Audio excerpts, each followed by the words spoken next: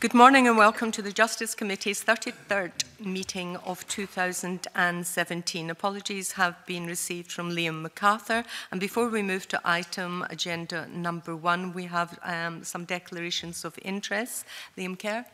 Uh, thank you, Convener. Yes, I'd just like to declare my interest as a solicitor with a current practicing certificate with the Law Society of England and Wales and with Scotland, uh, and also a landlord in the private rented sector in Edinburgh and a member of the Scottish Association of Landlords. Okay, and Ben McPherson. Just a reminder to the committee that I am registered on the roll of Scottish solicitors. Yeah. These aren't necessarily pertinent to item one, but they will be to later items in the agenda. Agenda item number one is consideration of the affirmative instrument on telecommunications restriction orders custodial institutions Scotland regulations 2017. And I welcome Michael Matheson, Cabinet Secretary for Justice and his officials, Anne Davis, who is Senior Principal Legal Officer, Director of Legal Services with the Scottish Government, and Jim O'Neill, Senior Legal Services Manager with the Scottish Prison Service. I refer members to paper one, which is a note by the clerk, and ask the Cabinet Secretary if he wants to make an opening statement. Thank you, Convener. Uh, members may recall that the Scottish Parliament agreed by legislative consent motion in 2015 to amendments to the then UK Serious Crime Bill to allow us to bring forward these regulations. Uh, the regulations build on the steps we have already taken to tackle illicit mobile phone use in prisons. Uh, Parliament has already agreed changes to prison rules, made changes to the law to create offences for introduction and possession of mobile phones or their component parts in prison without authorisation and made changes in the law to allow us to interfere with the wireless spectrum and pilot interference technology in two prisons to disrupt mobile phone use. I understand that members took the opportunity to understand more about the technology and its capabilities in private, and I am grateful to the members who participated in that.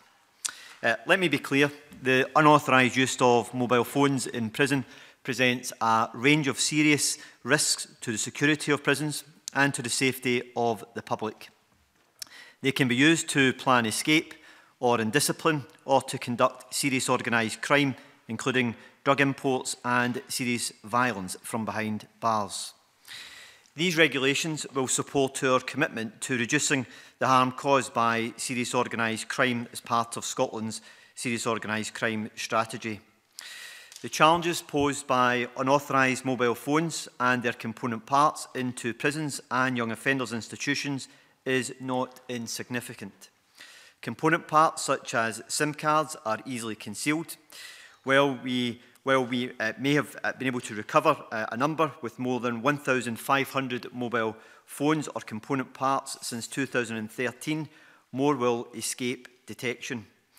We remain committed, however, to minimising the number of mobile phones entering prisons, to find phones and, uh, for those who have got them, uh, to block phones uh, to make sure that they are not able to access the network. With uh, these provisions, uh, the courts will be able to also set in place a process to remove particular phones from the network. This will render them worthless and stop prisoners using those phones to engage in criminal activity from prison permanently. This will help both the police and prison authorities to maintain the security of our prisons and the safety of our communities. These regulations will not prevent the introduction of illicit mobile phones or their component parts to prisons. However, the successful disabling of a mobile phone will put it beyond use and will seriously disrupt the activities of those individuals, including those involved in serious and organised crime, who would seek to extend their criminal activity threats or presence beyond the walls of our prisons. I know some members will be concerned about the potential impact of these regulations outside prisons. However, I trust that the opportunities provided by my officials to understand the evidence that will be obtained to satisfy a court that these mobile phones are in prison has provided the reassurances that they needed.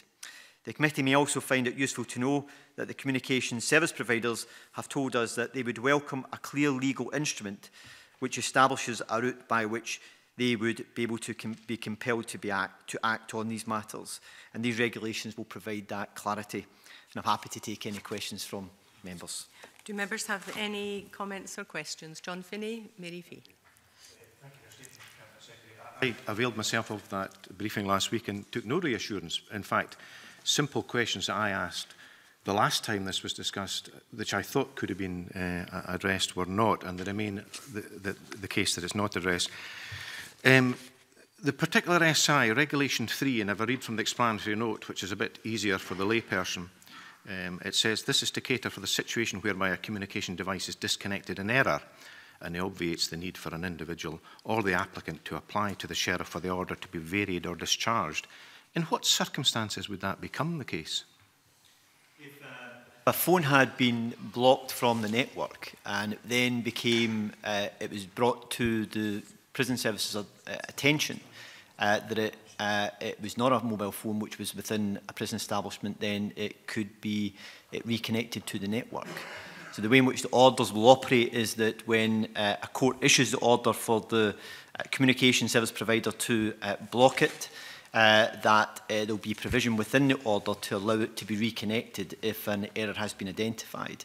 However, experience today would suggest that the likelihood of an error like that happening would be extremely rare, uh, but there is provision to allow it to be reconnected to the network.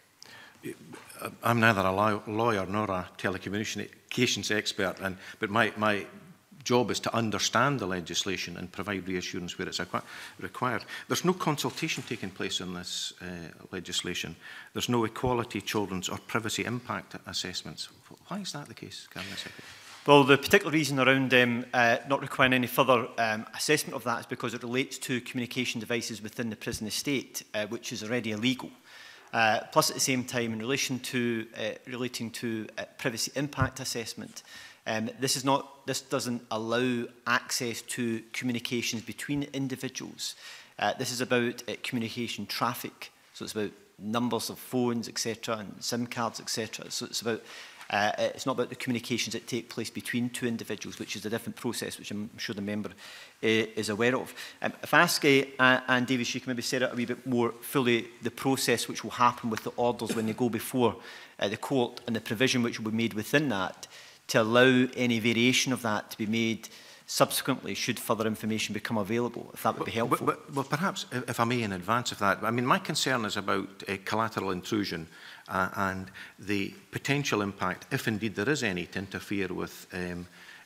uh, uh particularly health apps. So, for instance, Child is a, a Crohn's disease health app that can help people remotely. A very quick search just before I come up here, uh, um, um, a press release from the NHS using mobile technology for safe and effective care of patients taking multiple medicines. Now, this is something that's done remotely and it's about polypharmacy issues. Um, I asked the official had there been discussions with um, NHS about poten potential impact. All I'm wanting is for someone to say there is no impact or there is an impact, but we, you know, we understand it and we'll take that into consideration because I absolutely want robust procedures to ensure that there isn't an abuse of mobile phones and, and that the law is enforced. But I don't want any suggestion of anyone being vulnerable. And I've given the example in the past of Inverness Prison where you know that dwelling houses are closer to the prison than you are to me at this particular moment. So can you provide any reassurance? Well, I can provide assurances and it, what experience we have today, and the experience we have today with the pilots that have been operating is that uh, no issues have been identified um, of the nature the member has raised. And some of these establishments have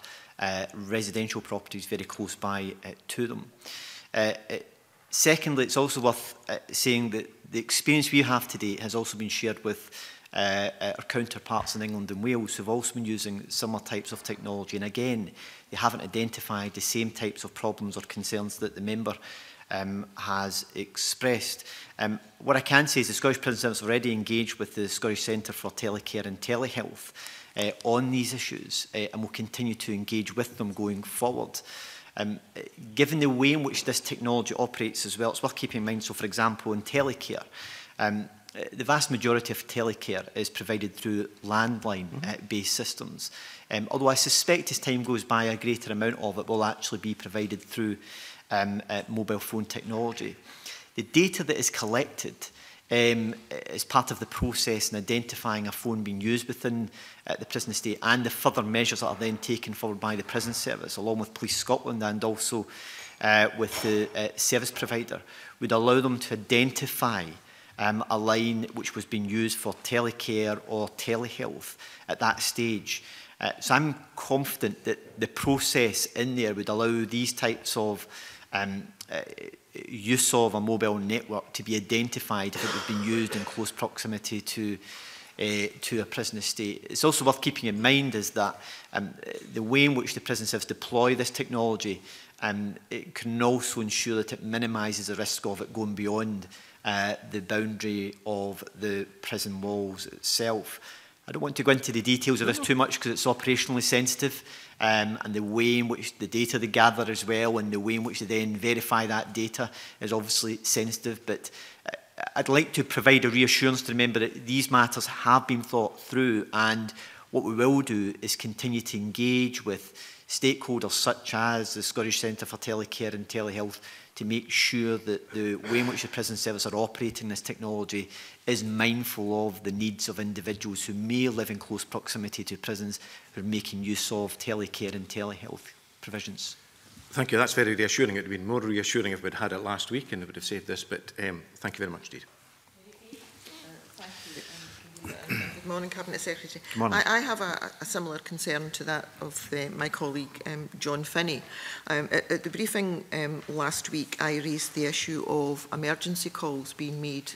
outside the prison grounds. And I was quite concerned to hear that these regulations, and whilst I have no issue at all with the need for these regulations, um, there is a potential for a call made immediately outside the perimeter of the prison to um, the emergency services if there was a, a, a threat to life, a health problem, the call would be barred. And I, really just want a similar reassurance that you've given to, to, to John Finney, that these are issues that you will continue to monitor and perhaps work with network providers and emergency services to make sure that those calls, if barred, will be reconnected as quickly as possible.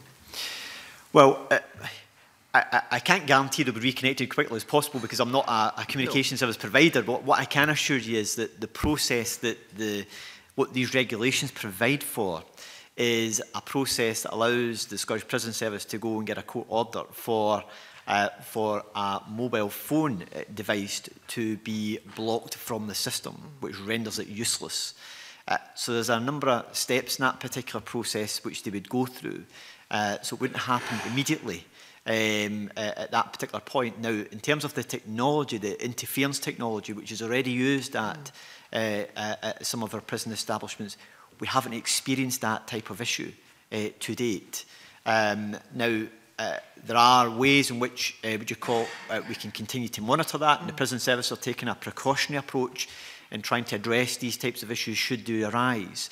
Um, eh, but if, it, eh, if an incident like that did arise and it came to attention, then it would be a matter for the prison service to then look at other, other measures which we need to take forward in order to minimise that. And part of that is about uh, the nature of the deployment of the technology. Again, these are operationally sensitive issues and I don't want to give too much detail around those because um, they could be useful to those who wish to circumvent them. But um, these are the technology in this area is continually developing as well uh, which will allow the prison service to continue to adapt its approach as technology develops and also making sure it's taken into account that it's not causing undue uh, uh, risk to individuals who live in close proximity to our prison estates.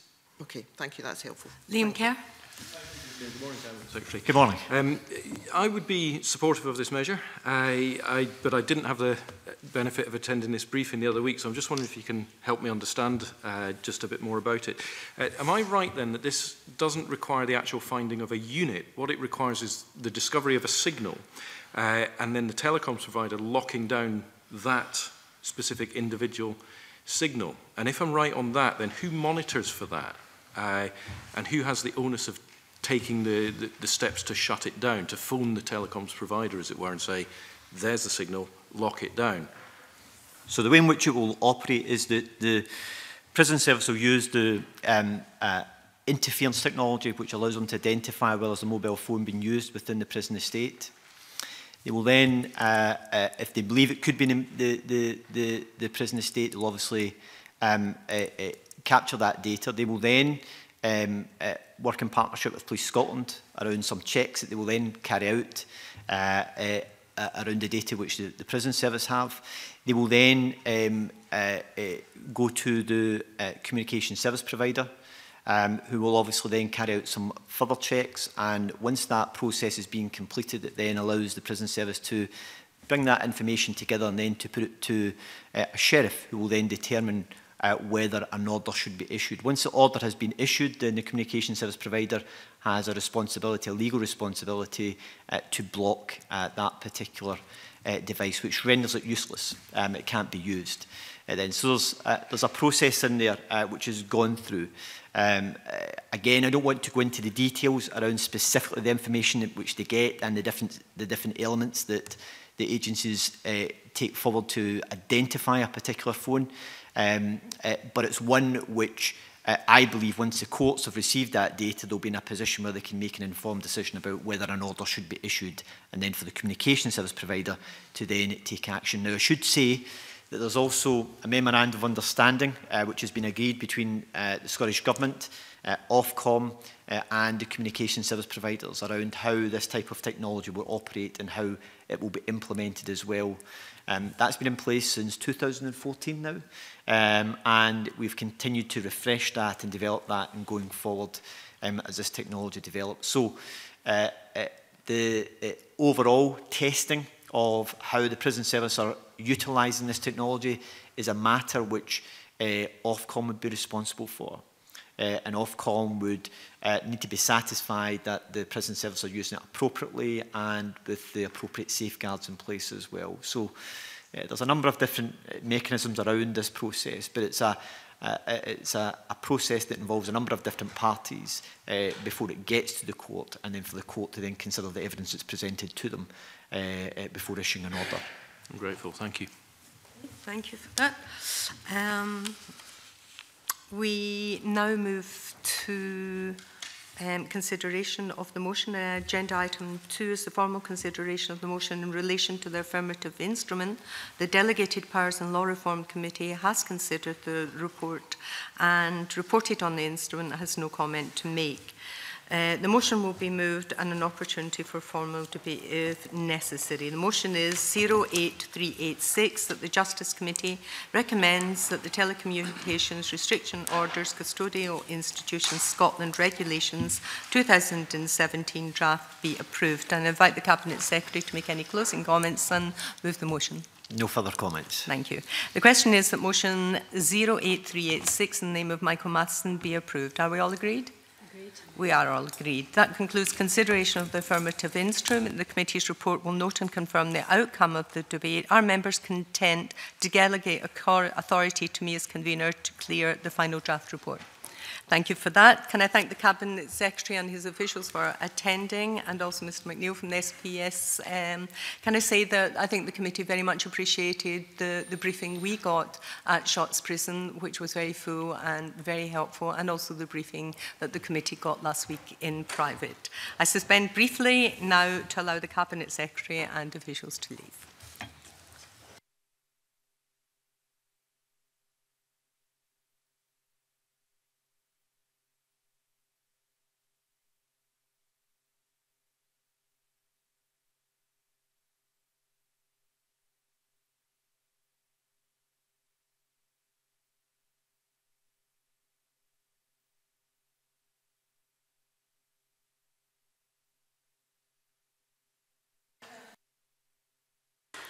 Uh, agenda item four is consideration of three negative instruments. I refer members to paper two, which is note by the clerk. The first instrument is Housing Scotland Act 2014 Consequential Provisions Order 2017 SSI 2017 oblique 329. Do members have any comments?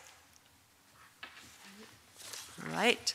Um, is the committee agreed that it does not wish to make any recommendations in relation to this instrument? Right, thank you for that. The second instrument is Rent Regulation Assured Tenancies Form Scotland Regulations 2017, SSI 2017 oblique 349. Do members have any comments? No comments. Is the committee agreed that it does not wish to make any recommendations in relation to this instrument? Agreed, thank you. The third instrument is Pensions Appeal Tribunal Scotland Amendment Rules 2017 SSI 2017 oblique 367. Do members have any comments? No comments. Um, is the committee agreed that it does not wish to make any recommendations in relation to this instrument? Agreed, thank you. And I suspend briefly to allow the panel of witnesses for the Civil Litigation Bill to take their seats.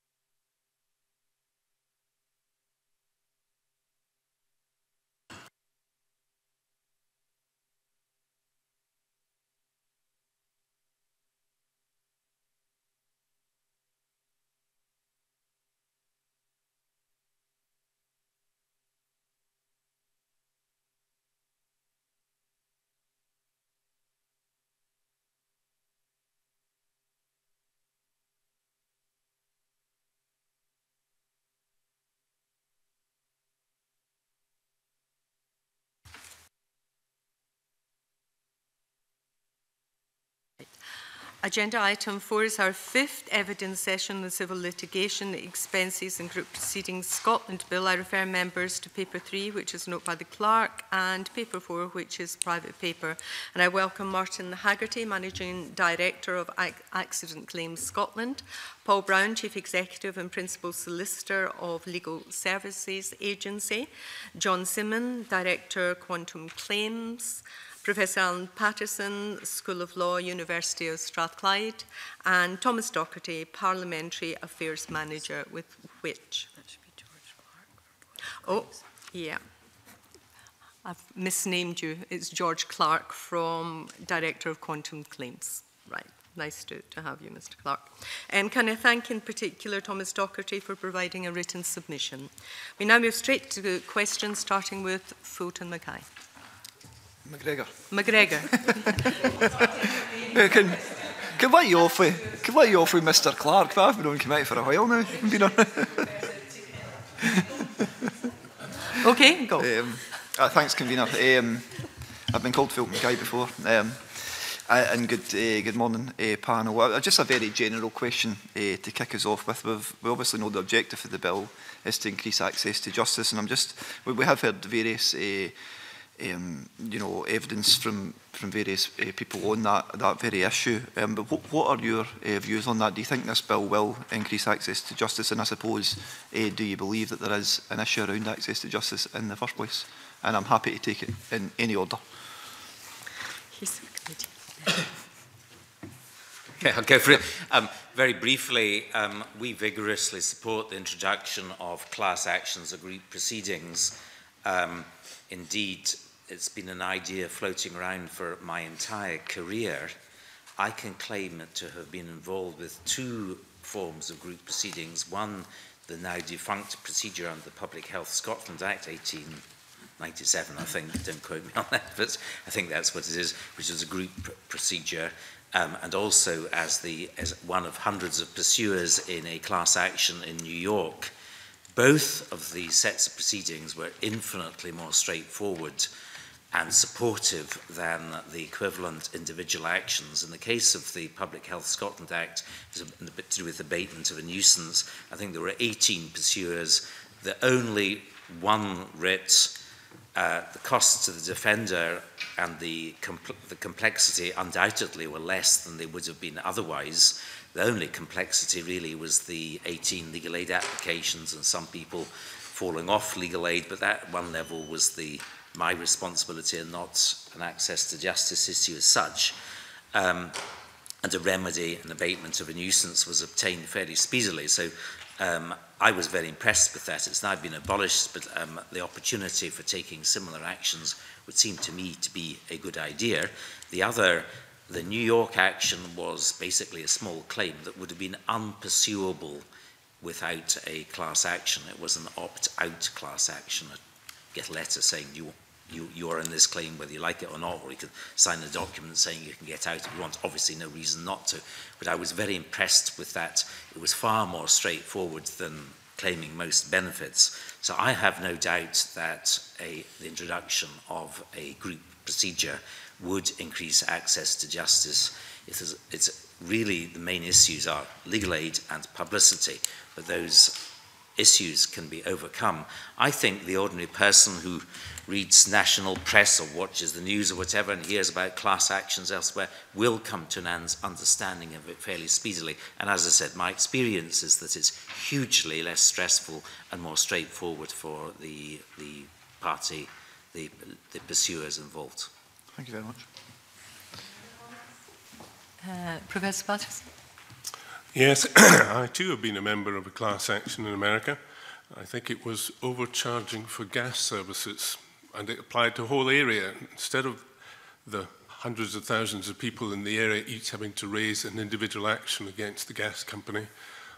a collective action was raised. We didn't have to uh, opt in. It was, uh, it was an opt-out one. It was very straightforward this is the way to deal with very uh, uh, small cases, or small level cases, or even medium level cases where everybody has a common interest and there are thousands of people involved, defective washing machines, all sorts of things.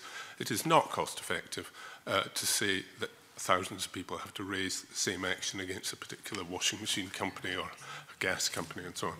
So uh, as uh, Paul has indicated, the problems are how you fund these. We, we've known that class actions or group actions are a good thing for 30 years. We've had three reports in Scotland, all of them saying we should have these things. The problem has been how you fund them, and we will no doubt come back to that.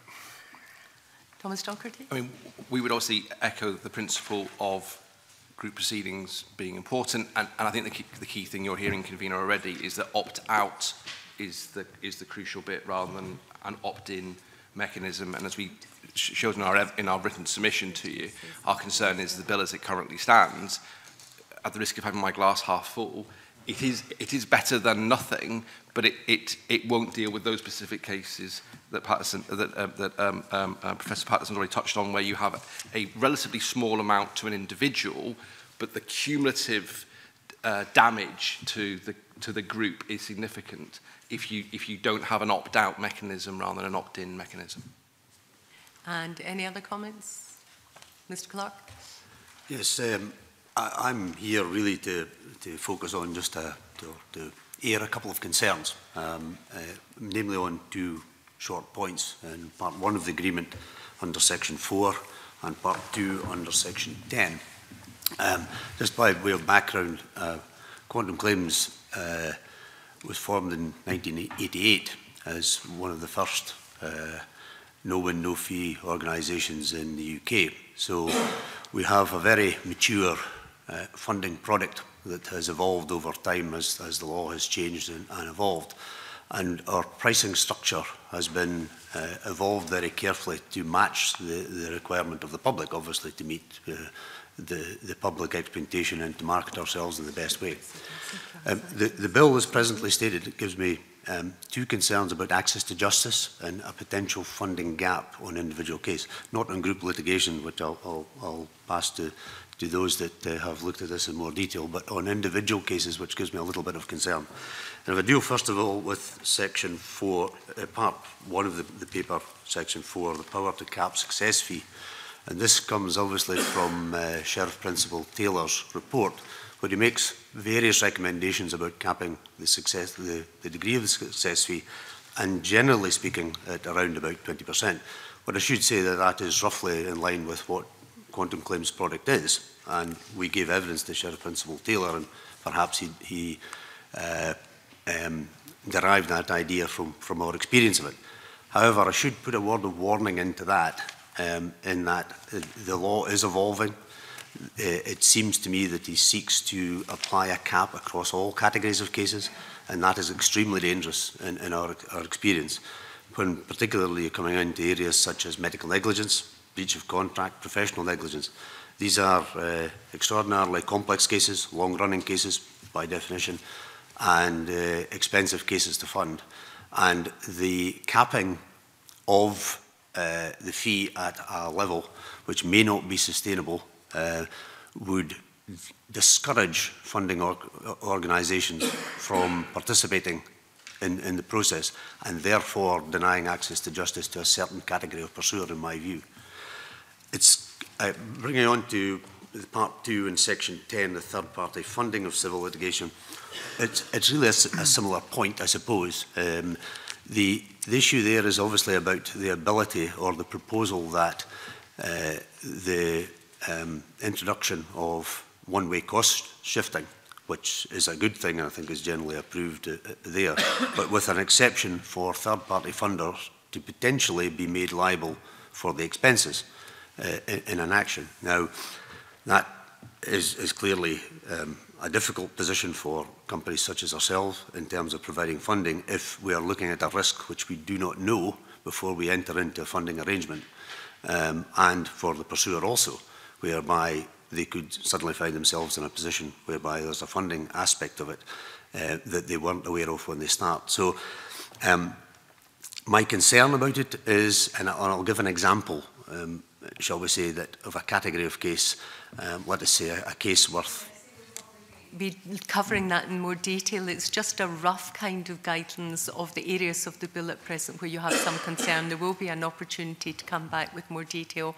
as we um, go into that line of question about oh, the third party. I was just by means of covering it very briefly to, to finish. This is my final point really mm -hmm. about this is uh, just to, to say that in terms of that, um, whereby um, the funding of a small let's say a case of five to ten thousand pounds category of case um, whereby the funder is being exposed to the uh, uh, coverage of outlays which average at about £2,000 minimum for even the smallest of cases, plus the exposure to civil expenses in the event of the case not, eh, not one of, let's say, £30,000, £40,000. pounds, um, that would discourage the funding of any action. And, and there, there are a large category of, of, of parties who would be discouraged from pursuing an action whereby they have got to find two to three thousand pounds of funding. My only point is, in, in terms of these, have to be looked at extremely carefully, in my opinion, in terms of defeating the point of the bill, which is to, to improve access to justice. That's, uh, that's my submission, if you like. Right, thank you. Anyone else, other comments, uh, Martin yeah, eh? Um, basically, just to, to echo what uh, Mr Clark has said, I think uh, in general, um, the principle of of a cap uh, on damages or success fees is, is uh, fairly sound thinking, but it, it, I do think there has to be a distinct um, a reassessment of, of the amount of that, again, because of the, the, the type of cases involved and to reflect the complexity of the case. Um, but otherwise, I think anything that improves the access to justice for innocent victims has to be a good thing. Um,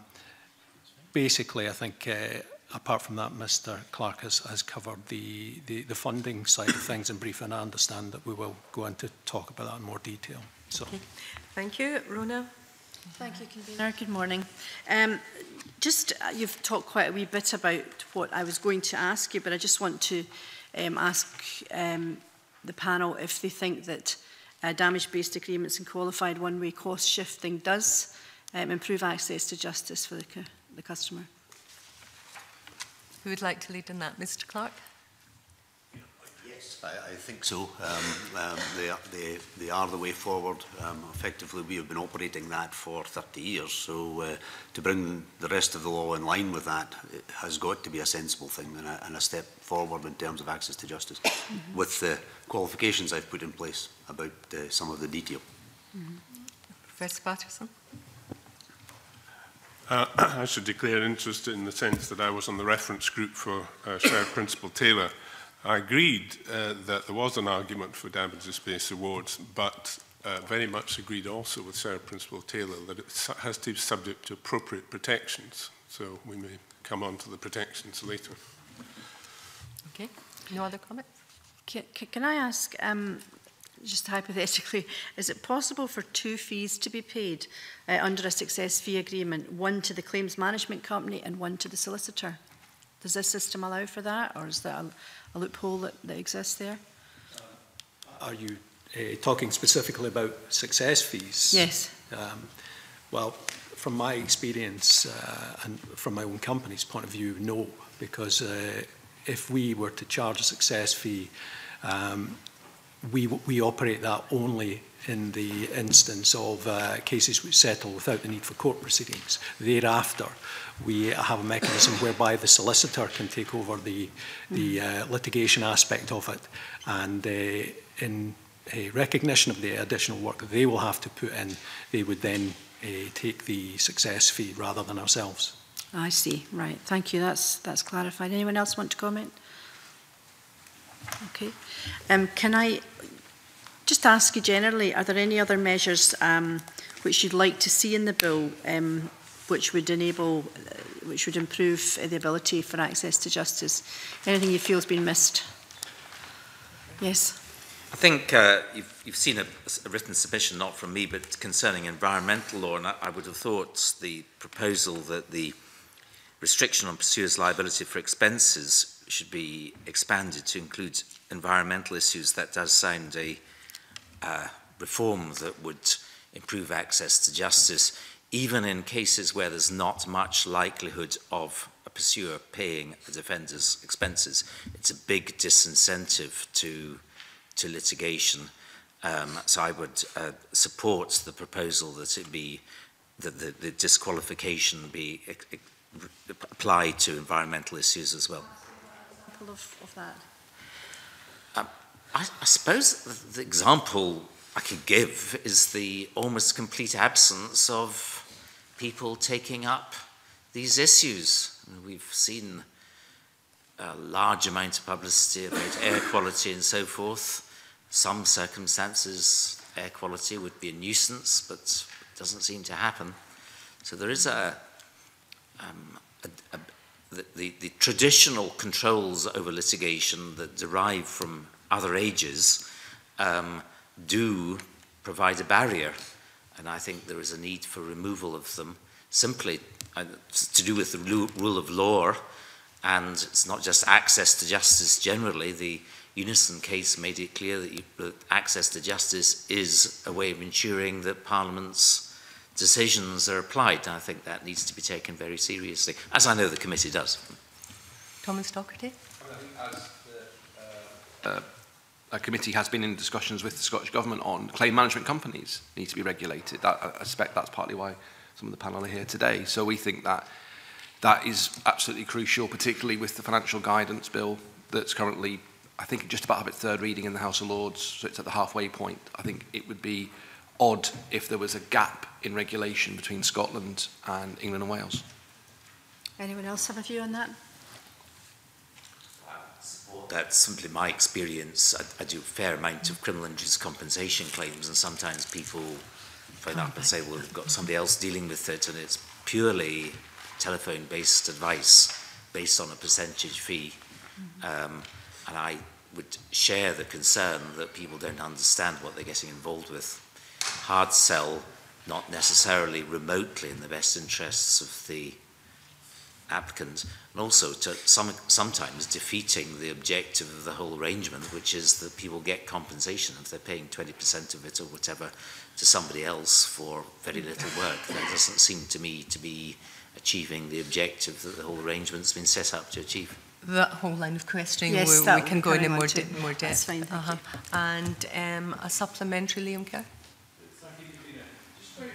Uh, so we're absolutely clear, Mr Haggerty, if you would. Uh, just Rona Mackay was talking about fees, uh, and I think you were saying where a matter escalates to a solicitor, uh, then the solicitor takes the success fee, or that's there. Yeah. Your firm will need to get paid. So do you get a, a, a referral fee from the solicitor? Um, yes, in principle it is a referral fee, um, but I would quantify that by saying that we do uh, a substantial amount of work in preparing the, the case, taking background information. We're also, uh, unlike many claims management firms um, down south in particular, um, we engage with the client um, and we do offer other services to the client, such as replacement vehicles after a car accident, assistance with uh, finding vehicle repairers. Mm Um, and we also, after the case is uh, underway, are involved in, in such aspects as taking statements from witnesses, preparing locus reports. So we do provide a value for money service as distinct from from uh, my colleague here who, who has said that in many instances some claims management companies are purely a telephone-based marketing device. Mm -hmm. Um, so yes, we, we, we do receive uh, some payment from the solicitors, right. um, partly for uh, finding the case, and partly for the work that we do. Uh, uh and the, the question begged then is, if your firm gets a fee uh, from the solicitor, uh, Mr Brown talks about acting in the best interests of the client. Who is your firm's client? Isn't it the solicitor's firm? Um, not necessarily, because we do not act purely for one solicitor's firm or, or deal with one solicitor's firm. We, we, we deal with, with other firms. And it depends on the type of case. So, for, for example, for a road traffic accident, we, we may deal with one or two firms. We may have another firm who specialise in, in industrial disease or accidents at work or medical negligence. Um, but we are acting for the client in the first instance and we are um, offering uh, to find that client, as I say, a range of services, including expert legal advice from someone who, who specialises in that area of law. Thank you. Uh, Professor Parkinson. Yes, if I could pick up that, that last issue, it's not directly to claims management companies, but there are instances of claims companies who are uh, encouraging PPI claims. And issues have arisen as to when a solicitor gets involved, who is the solicitor acting for? Is it for the um, claims company? Is it for the claims company and the client? Or, so And it makes a big difference because it affects fiduciary duty, affects remedies if the lawyer is acting for the client or only for the claims company. So it is very important that in these kinds of contracts, and that would extend to claims management companies, that there is um, clear explanation. There's a, a duty on solicitors not just to act in the best interest of the client, but there's also an ethical duty to communicate effectively and get their informed consent to certain contracts. That means you have to tell them everything material that relates to the case that you are aware of as a solicitor. All of these things have to be carried through, and I'm sure they are carried through by quantum claims, but we're talking about all kinds of other claims management companies coming through, and these issues have to be addressed. Now, I, I, should say that the Law Society is aware of this, and there is a working party being set up to look at some of the ethical issues that might arise. but we have to be aware of these issues. Okay, uh, John Finney. Yeah, uh, good morning, panel. Uh, panel, the, the um, provisions of the bill will enable solicitors to enter into damage-based agreements. You, can you outline what you see as the pros and cons of that form of payment? And in addition, do you feel that there's a, a need for additional protections for consumers or for the perception of a conflict of interest for solicitors? Well, if I could just follow on what I just said, yes. that, there is. Um, if you enter into a contract with your client normally, uh, you, have the, you have to, the contract has to be fair and reasonable. Secondly, it has to have informed consent.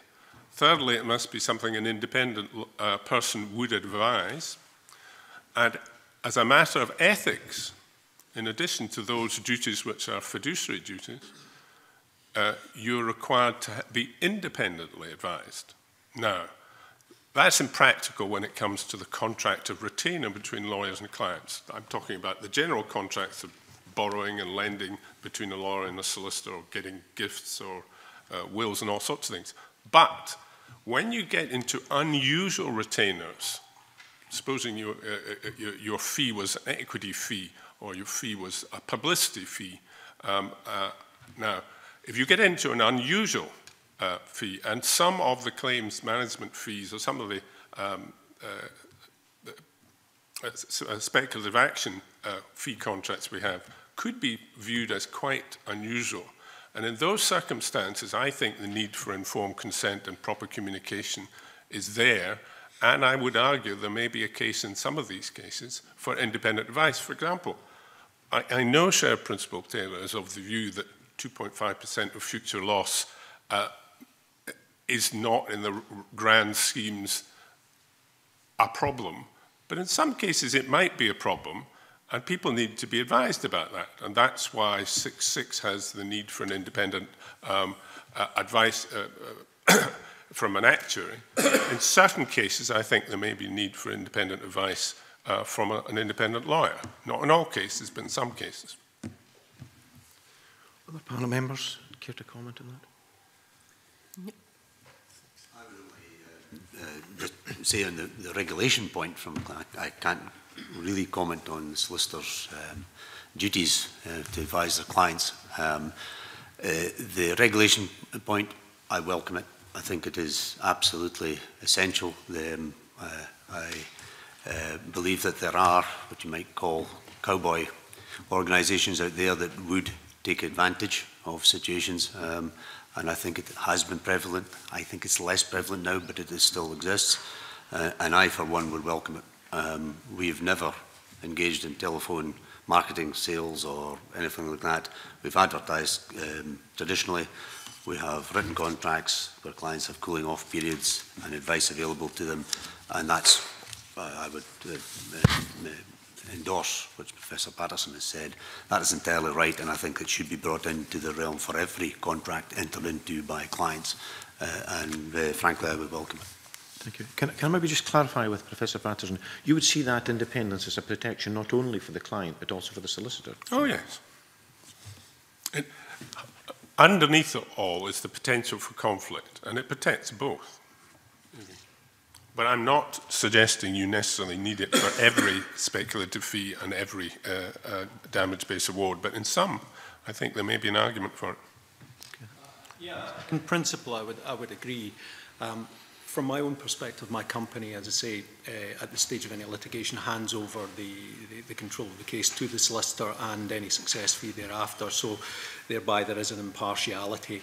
Um, we remove, remove from the process. Um, I would also point out we don't engage as a company in any activity other than accident claims. We don't get involved in the, the less reputable, in my opinion, side of the business, such as PPI or holiday sickness claims and things like that. Uh, up until recently, I would have said that in Scotland we don't necessarily need regulation because there are very few claims management companies here, but the problem to me really stems from the amount of English-based companies who are advertising nationwide and, and are preferring advice to, to people here without any uh, regard for the, uh, the, the, the laws of Scotland or the, the, the system of damages that we have, uh, and perhaps just selling that case on to the highest bidder. In some cases, that's even been English-based solicitors' firms who ostensibly then take the thing forward um, and try and resolve it without the need for litigation. So um, I think more recently, with, with the increase that we're seeing in that, then I, I would welcome some form of regulation here. Okay, thank you very much indeed. Okay. Moving on to May. Thank you, Convener. Um, it was really just in terms of some of the evidence that we'd heard in previous sessions, particularly from Defender representatives. They'd raised concern that they believe that the bill as currently drafted would lead to a compensation culture in Scotland and that we would need to put additional measures in place such as fixed fees and strengthened pre-action protocols uh, to try and mitigate against that. And it was really just to get your thoughts on that and do you believe that it would give rise to a compensation culture in Scotland?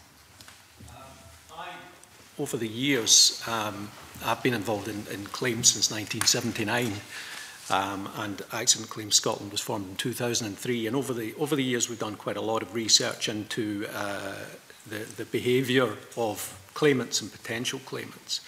Uh, and I don't really see that uh, over the last 10, 15 years or so that there has been particularly a rise in a compensation culture in Scotland. I think we've always been um, fairly uh, conservative with a small c, if I may say that, um, and roughly you know, it's always been roughly sort of one in three has, has sought compensation for, for minor injuries.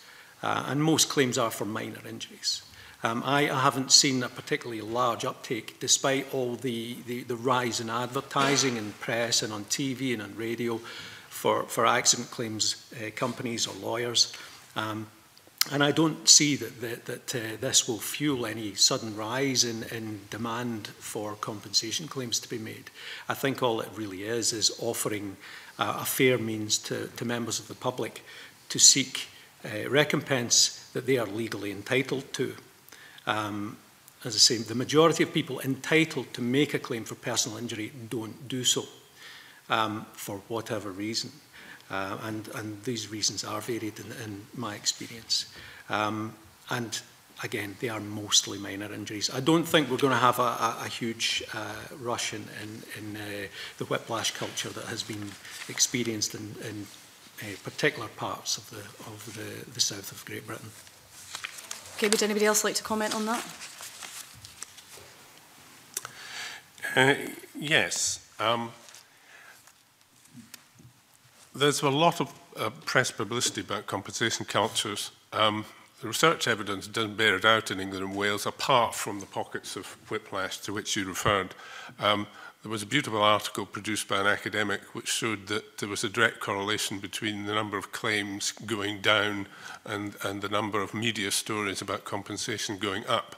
But um, uh, in Scotland, the evidence is that litigation rates, civil litigation rates, have been gradually falling over the last five, six years. Now, I know there was a spike in personal injury, um, but I don't think there is evidence that, uh, um, that there's uh, a huge uh, uh, interest in, in raising personal injury claims. I'd be quite interested in the wards because when I was doing the original Path to Justice research with Hazel Gain, which was the start of the needs assessment literature that's gone around the world, we found large areas of people who were either doing nothing when faced with a significant uh, possible uh, claim uh, or, or, or helping themselves and, you know, just trying to help themselves and failing.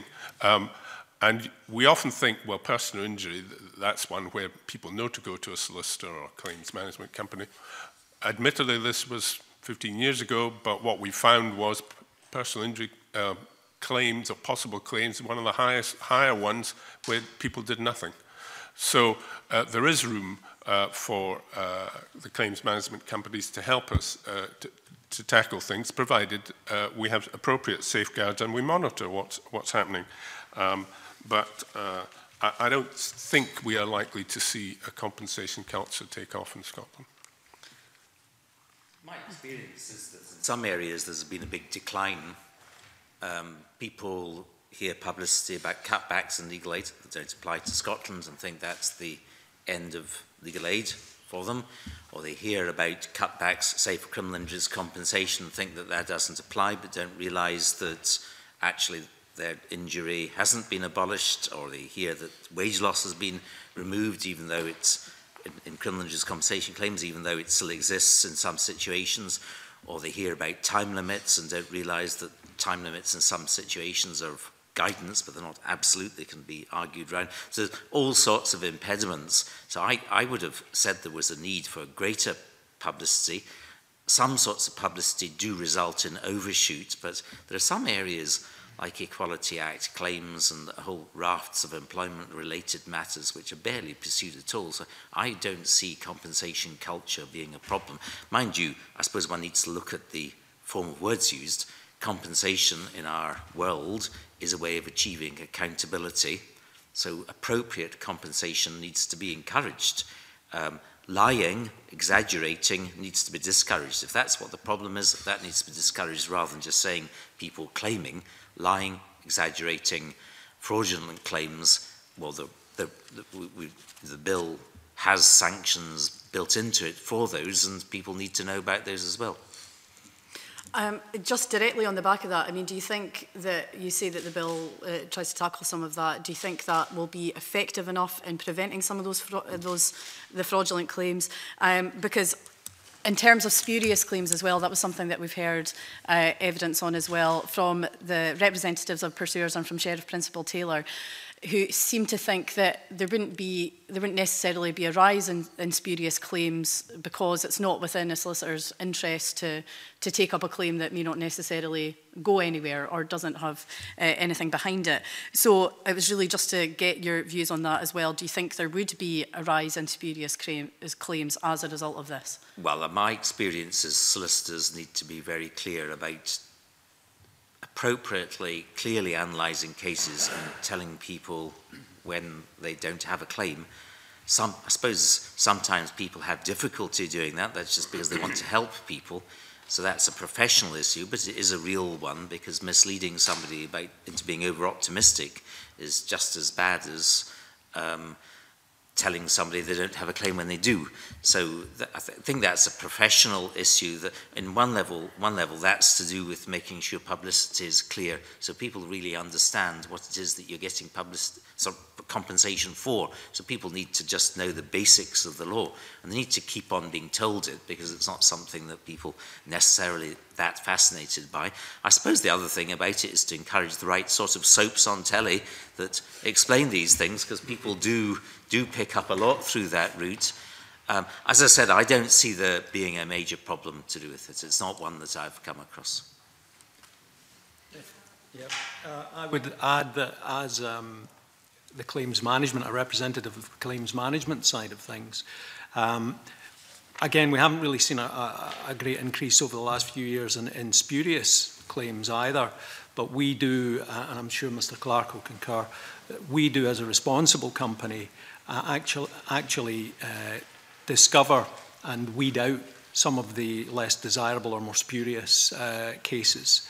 Um, and therefore, we actually prevent some of those cases getting as far as the solicitor.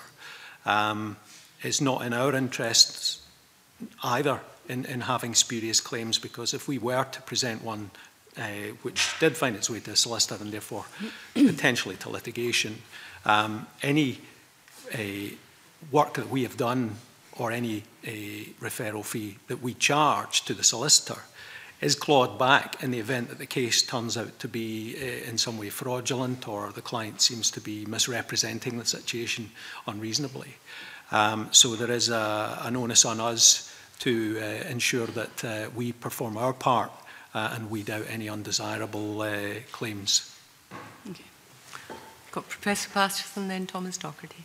Yeah, just uh, just to add, I mean, the, the bill does contain certain protections so that if a legal, uh, a legal representative raises a spurious claim and a spurious action, then they may be found personally liable and expenses. Now, I happen to think that that's the law anyway, but I'm glad to see it reinforced in statute now, so uh, nobody can say, you know, I don't agree with that bit of the case law. No, it's, it's, it's clear there. And qualified one, uh, cost shifting, uh, Uh, you lose the benefit of that if you prove to be uh, fraudulent. Similarly, the same, and it's, the same way with legal aid. Uh, one of the protections of legal aid is that you can get your li if you lose, you, you can get your liability to pay the other side's expenses modified uh, to nothing. But that only applies if the court takes the view that you've behaved, behaved reasonably, and the bill requires that as well. So there are the protections against these uh, potential spurious claims. Are you Thomas Doherty? I mean, I think perhaps it goes back to the question that Mr McGregor asked at the start about access to justice. Um, we don't see claims management companies, sorry, we see claims management companies as a symptom of a, as a, of, a, of a problem we have in that just too often companies, institutions won't pay back to consumers the money that they owed. And, uh, you know, as, as a simple statistic, it, the National Audit Office estimates that between 2011 and 2015, claim management companies received, I think it was four to five billion pounds in management fees uh, for, you know, from, for, for, for PPI claims. And that's because those financial institutions, in the very first place, simply weren't coming forward who, because obviously they knew who their customers were, and saying, look, you know, we owe you money, we've got this wrong. Um, and we have, we have a very simple case at which that we've been using a lot, which was we run a free service um, on our website for, for uh, PPI claims, which we've now engaged with a lot of the institutions. And we had one which member who got £15,000 by just going onto that website and uh, putting in you know, his, his details, and I, I obviously won't say which financial institution it was. Now, the best, you know, that cut out the CMCs, and that's a great result. But there's an argument that says if it wasn't for those CMCs in the first place, you know, chipping away and, and, and, and, and raising this issue, that those financial institutions wouldn't be in a situation where they have paid out, I guess, 18 to 20 billion pounds over the last, last few years. So hopefully that answers your point. Thank you. And I very much look forward to the civil litigation dramatisation. Thank you. Can I ask uh, about the issue of ambulance chasers? Um, obviously, you're talking about legitimate claims from consumers that perhaps haven't been followed, but there's the other side of the coin. And while the, the two representatives, three representatives from the, the claims um, companies um, have explained how they would uh, behave with absolute propriety, is that still an issue? Um, I, again, and I, uh, I, I would go back to uh, Martin's uh, uh, point he made earlier about this. I, th there is still an issue in England, I think, and, and there is a telemarketing culture. I think we've all had it. Um, um, anonymous phone calls, texts, etc. Have you had an accident in the last three years? Um, and etc. etc. So I think there is still an issue. Uh, it's a countrywide issue, not, not just a Scottish issue. And I I genuinely agree that I don't think it is prevalent in Scotland. It, it comes from afar and it's generated from afar. I'm not aware of anyone in, in our industry, if you like, that, that, that uh, actively practices that in Scotland. I wouldn't, I'm not aware of it, certainly I don't. But um, I think it is an issue and it does need to be looked at. Um, as I say, there, there is a, there's a danger in that field still, in my opinion. Yes if I could add. Uh, I would agree um, that, uh, that, that it is something that's very much driven from afar. And in, in what I do day to day, I'm constantly bombarded by data marketing companies um, from other parts of, uh, of the world, not just the United Kingdom, um, offering data for people who have had accidents or have, have had um, PPI in the past or whatever it may be, and saying we only deal with accident claims, but I, I do not, um, nor do the colleagues, my colleagues that I know of in this industry, engage in buying data. I think it's a very, um, it's a very uh, shoddy way to do business, but uh, I think something should be done that, that does actually protect the public from these uh, mass data gathering exercises and the, the constant exchange of details. And in many cases, the data I am being offered is said, whether it's genuine or not, is said to originate from insurance companies, the very people who cry wolf at the, the first sign of a, of a potential personal injury claim. Um, so, you know, you, these are however they're getting their data, um, there is no doubt that there are some practices uh, involved that are uh, less than savoury.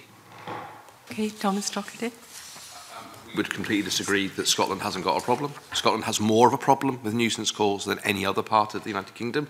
We've done the research. There was a debate here in the Scottish Parliament in September, which I know some members took part in. You know, 80, 80% of Scots have reported receiving nuisance calls on their landlines in the last in, in, in the month of August alone, according to our studies. 44%, uh, as we put in our evidence, you know, almost half of those people are getting accident calls and PPI calls. It is not true that Scotland, Scotland has more of a problem than anywhere else. And one other statistic, convener, um, in the last year, 16 claim management companies based in, Scotland, uh, based in Scotland have registered the company's house. This problem isn't getting smaller, it's getting bigger. If I could just uh, add a, to that, that uh, as I say, the, I don't deny that the, the members of the public are receiving unsolicited communications, whether by text or by telephone, whether it's PPI, personal injury or whatever. Um, It's just that uh, the majority of these uh, calls or texts originate from out with Scotland, the vast majority of them in my experience. And the, the opportunities to buy that data or to, to, to acquire these potential customers or clients um, generally does not originate in Scotland. Um, albeit that, yes, that there may well have been uh, several claims companies have registered at Companies House um, and uh, I do understand that there may well be many PPI based companies of that nature, but certainly I haven't seen any great increase from the personal injury side of the business in Scotland. Um, but yes, that, so to take your point, I, I think we are plagued by them, but I don't think that uh, it's, it's a big problem with the data originating here. I think it's, it's national companies um, marketing to the country as a whole and trying to pass the clients on to us up here in some way, shape or form. Mm -hmm. There's certainly some very useful information in Mr Doherty's written submission about even the Glasgow area and the number of, of calls there. It may be covered later. Uh, Morris, do you want to supplement? Could I ask a general question to the panel? Um, there is a sort of feeling of reticence of people who genuinely have a claim and they believe they have a claim but are put off by the fact that they might incur a record on the industry's um, notepad if they come to ask, for example, for insurance of a cover for a house. There is a general trend to feel that. Can you comment on that? and therefore it's a black mark against them. Yeah, I think that's very much the case, certainly in, in motor accidents, uh, of which the majority uh, of, of uh, personal injury claims will emanate from. Um, I think very much uh, people think that if they make a, a claim, whether it be for their vehicle or whether it be for their person, um, that somehow this will affect their insurance premium. And, and very often it does. Um, and uh, as a result of that, people very often seek the assistance of a, a claims management company, or they just decide it's more bother than it's worth, and they swallow their policy excess for the damage to their car, and they get on with their daily lives. Um, and it's unfortunate that uh, we've tried in, in the past to kind of educate, through our advertising, educate the, the, the genuine members of the public who suffer an, uh, an injury through no fault of their own, that they do have rights and that there is something they can do. But I think there is very much a perception that in some way they'll end up on a database somewhere mm, -hmm. and it's going to end up costing them more, more money. Um, but uh, I think it's, it's worth pointing out that uh, if, if, it, if insurance companies themselves acted honorably, then the claims management industry from a personal injury or from a vehicle damage perspective wouldn't exist. And I say that as someone who, who, who originally came from an insurance company background um, and has seen this rise from, from nowhere, um, where people used to be left without any uh, assistance. I think also um, another observation that's useful, even now in Eh, as we approach 2018, there's a great many members of the public who are in some way reticent about approaching solicitors directly about a claim because they think it's going to cost them money. And that, uh, that is the, very off-putting, whereas they will come to a, a claims management company or an accident management company who are advertising no win, no fee, because they realize, A, that the that the process is not going to cost them uh, money if the case is unsuccessful.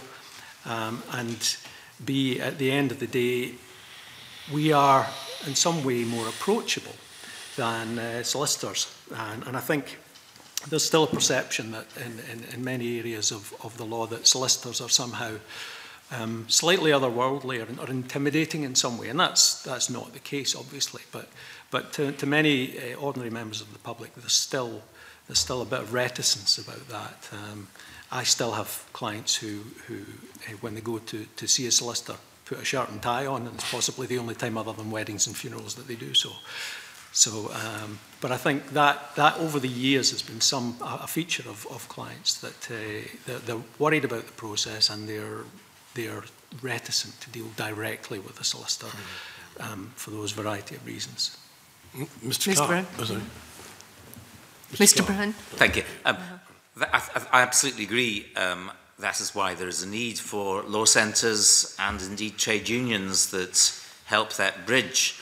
I think solicitors could do a lot as well in that you continually hear stories, and I know some of them are accurate about people being told, oh, you want to see a solicitor, well, that's £250 an hour and you have to pay in advance, that sort of thing. There is a real need for um, better interface between the legal profession and people in need.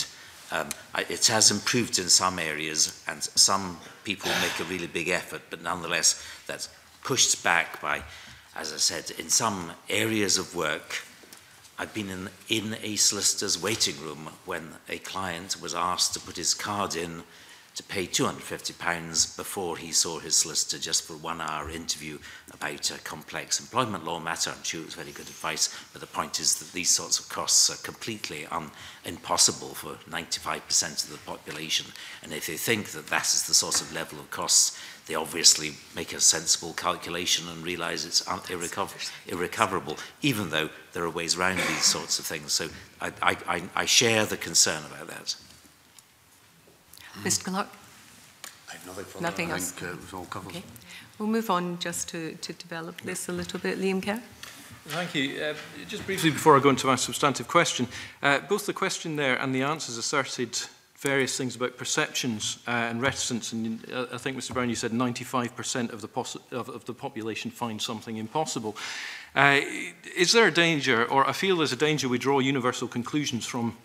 anecdotal evidence. Is there any objective evidence uh, for any of the points that either of you have just made.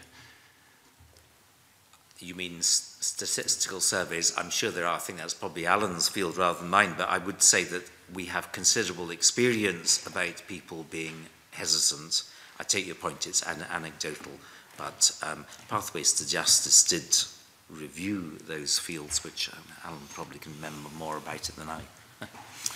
yes. Uh, Pastoral Justice was a very large-scale national random sample uh, of people's experience of what we call justiciable problems, um, with, uh, and we asked them, have you had uh, uh, one of these? We'll give them a list of 65 possible problems, none of which mentioned the, the word law. And we said, have you had a problem like, you know, sick pay, holiday pay, um, uh, falling downstairs uh, because of some accident or driving accident. And we asked them what they did with it and who they turned to, if anybody, why they did this rather than that. And of course, um, we, we got evidence which you would not be surprised at about people being put off by the fear of costs. It's not necessarily a realistic fear of costs. Sometimes it is a realistic fear of costs, but the, um, litigation is very expensive for an ordinary person. Um, most lawyers would not advise people to embark on litigation, uh, individuals, uh, because it is um, not always predictable what the outcome will be and it can be very expensive. So people are right to have a fear about that. Um, and uh, we've got research around the world. The past justice research has been followed in 26 countries with 35 studies uh, around the world, all producing very similar uh, forms of uh, result. In England, there's been more uh, past uh, developments on past justice, uh, showing where justiciable problems are uh, uh, distributed. Um, we've done a little more in Scotland, and, and, and the, the, the Crime and Justice Survey gives us some evidence as well. Um, we've no reason to believe that people are not put off by uh, a uh, uh, fear of costs, and they should be. we are regularly asked um, about whether or not we have done research on um, the legal experience for consumers in Scotland. Um, it's a conversation that I've had with uh, the Esther Robertson um, review, um, and we, I think it's fair to say, we would very strongly suggest that as part of Esther Robertson's review, that research should be commissioned to look at the consumer experience, and it frankly appears to me to be a bit odd that the starting point of that review has not been to actually do a proper piece of thorough research. And it might be something that the committee may take up in the future with Esther Robertson. Uh, thank you. Uh, moving on, um, I'm interested in this idea of regulation, uh, and I appreciate time's short, so I'm going to fire questions, and if you wouldn't mind keeping the answers brief, I'd appreciate it. Um, do the claims management companies who are on the panel today have to meet any regulatory standards? Uh, and if so, who's the regulating body? Obviously, in England and Wales, there has been uh, claims management regulation for some time. Um, and my own company registered with that, even though we didn't necessarily uh, have to. We did, we did find the odd English case, and we thought we would, we would potentially stay um, well inside the, the, the areas of law that that uh, touched on, even though the volumes weren't sufficient to meet the, the, the, the requirements. But uh, I figured that at the time that it was a uh, morally uh, the right thing to do and that it gave the client some uh, assurance of the, uh, um, the professionalism and the integrity of the company that they were dealing with. But other than that, no, there's no, no regulation of claims management activities in Scotland at present. Right. Anyone else want to add anything before I move on? Okay.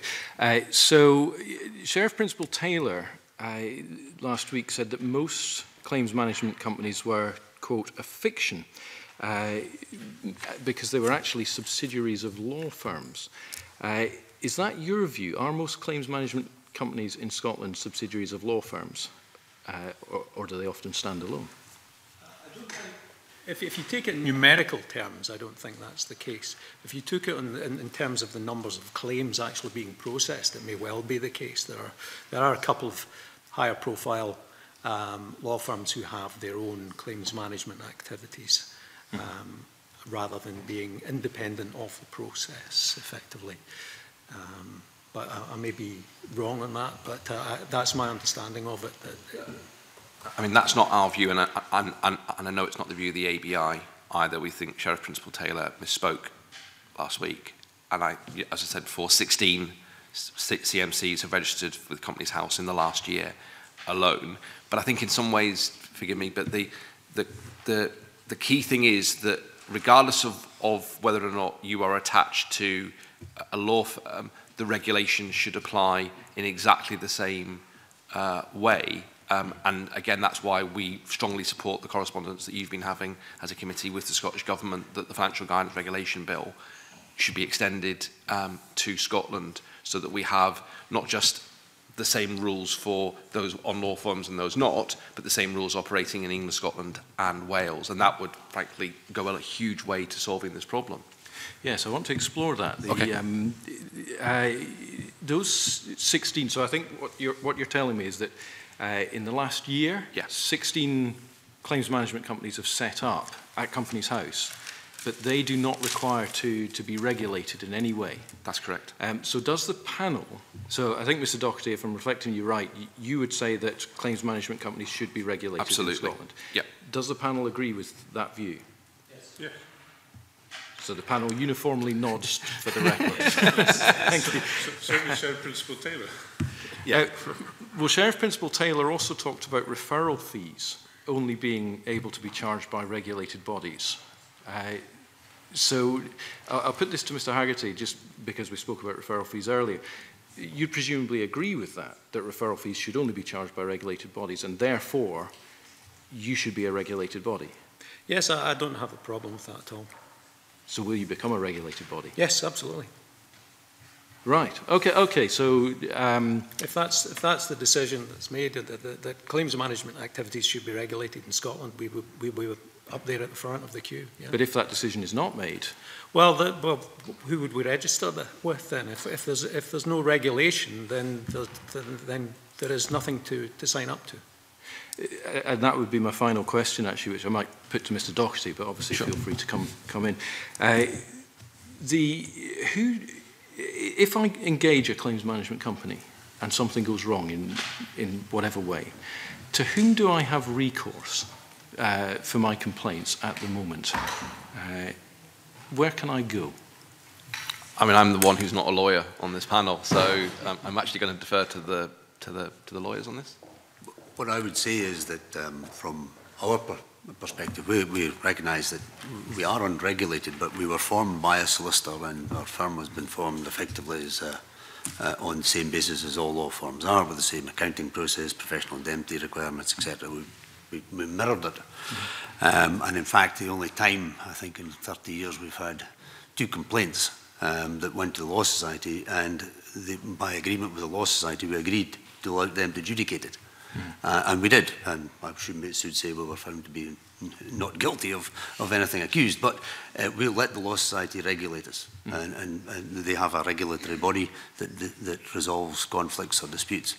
Um, I, I know that um, from giving evidence to, to Sheriff Principal Taylor, he didn't think that was a, a suitable way forward, but I would say, why not? It's, it's, it's legal services by another name, so why not let the Law Society regulate claims management activity? Can I just clarify that? I, I, I personally know quantum claims pretty well from my previous career.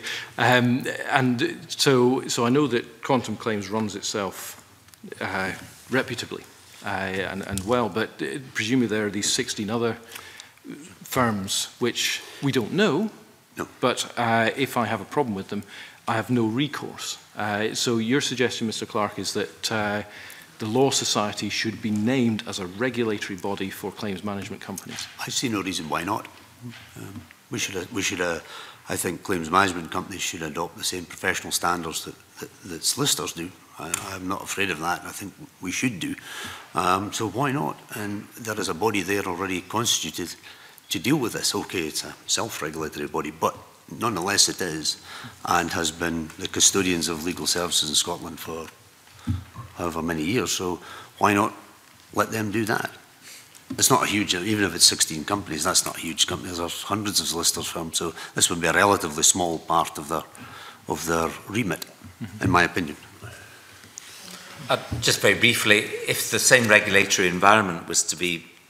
introduced for claims management companies, the Scottish Legal Complaints Commission, which is set up by statute, have to, would have to be brought in well as well. I mean, that would be presumably fairly complicated. I'm sure it could be done. But uh, we need to remember that solicitors are regulated for different purposes by two bodies. In the case of the Scottish Legal Complaints Commission, it's got fairly substantial, substantial teeth for inadequate professional service. Thomas I mean, very briefly, but you know, there's a there's a reason why the Financial Guidance Regulation Bill is moving from the MOJ to the Treasury um, for the regulation of claim management companies in England and Wales. And I think that we just touched on some of it there. As I say, we're, we're not opposed to it, it being done through legal regulation. I think we're a bit sceptical about actually how close the relationship is between some of the claims management companies and the law firms they purport to be part of. And I think the key principle is, regardless of who the regulator is, every claim management company that operates should operate to the same standard. And if some people are regulated by the uh, Law Society and some are regulated by the FCA. We're not going to die in a ditch over that, but it's the principles of regulation that are more important. I Understand? I'd agree with that. Um, and just to, to touch on your, your initial point, at the moment, claims management activities it's a service industry and it's like any other service industry. You, if, if you have a means to, to, to complain about service, in, in, in, our own case and other companies that I know of, you, you will make the, the, complaint. It will go to a director of the company and it will be dealt with. There are, if you still cannot receive that, then customers will find a way either of going to a solicitor, ironically, to take advice on it, or the, the, the Legal Services Agency or the Citizens Advice Bureau. I personally have, again, in, in all the years we've been doing this, very, very few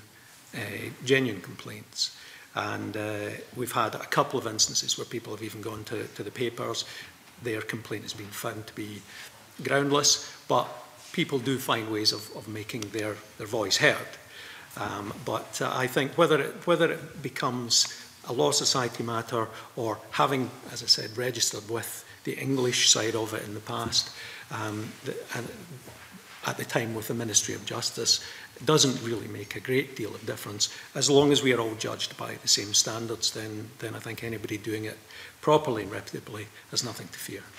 Professor Battle? I think the short answer to your question is who regulates them at the moment is trading standards of anybody. Um, but um, uh, as far as the, I'm not going to comment about whether the Law Society do it. I think there's an argument that if you're going to regulate claims management companies, which you should, and I agree with Sarah Principal Taylor on that, there's an argument it should be done on a UK-wide basis because the problems we're having now is people moving up. Uh, so I don't think you want to have a situation where one lot's regulated by one set of regulators and rules, another by another. The argument for uh, a UK-wide regulation sounds to me quite strong. Um, Uh, and just remember, the reason why claims management companies were set up in the first place is because there were problems in the regulatory environment uh, from their perspective uh, that damages-based awards weren't allowed under our setup. And secondly, referral fees is a problem. There was a huge fight on Taylor about referral fees. England has swapped these places whether they allow referral fees and then they ban them.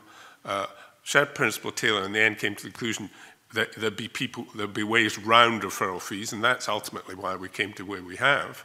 But as you heard from uh, uh, earlier, the, the, comment about uh, referral fees, um, you have to do something as a solicitor. You're going to pay a referral, get a referral fee. You've got to do something. It's not just something, uh, you know, a, a reward for giving something away. You've got to actually have prepared, done some administrative real work And the client has to fully understand what the referral fee is about and what it's been paid for. Uh, so referral fees remains an area um, that was contested within Sharon Principal Taylor's uh, report.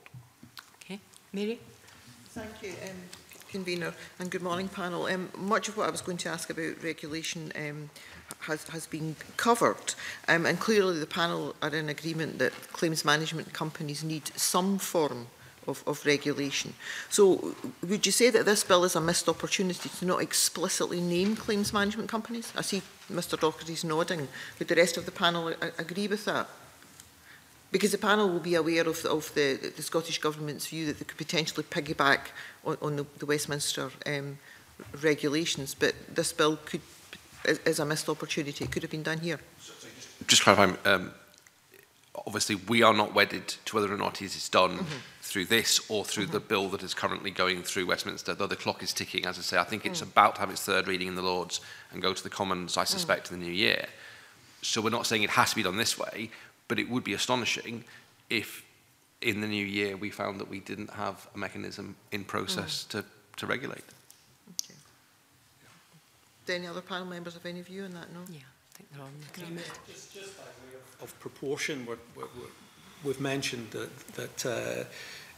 uh, um, was it in the last year, 16 claims management companies have registered at Companies House.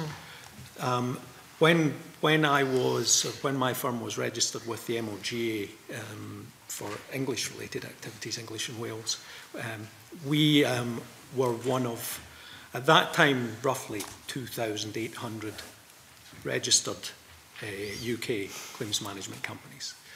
Um, and bear in mind there was very few Scottish firms bothered mm. registering with no requirement to do so.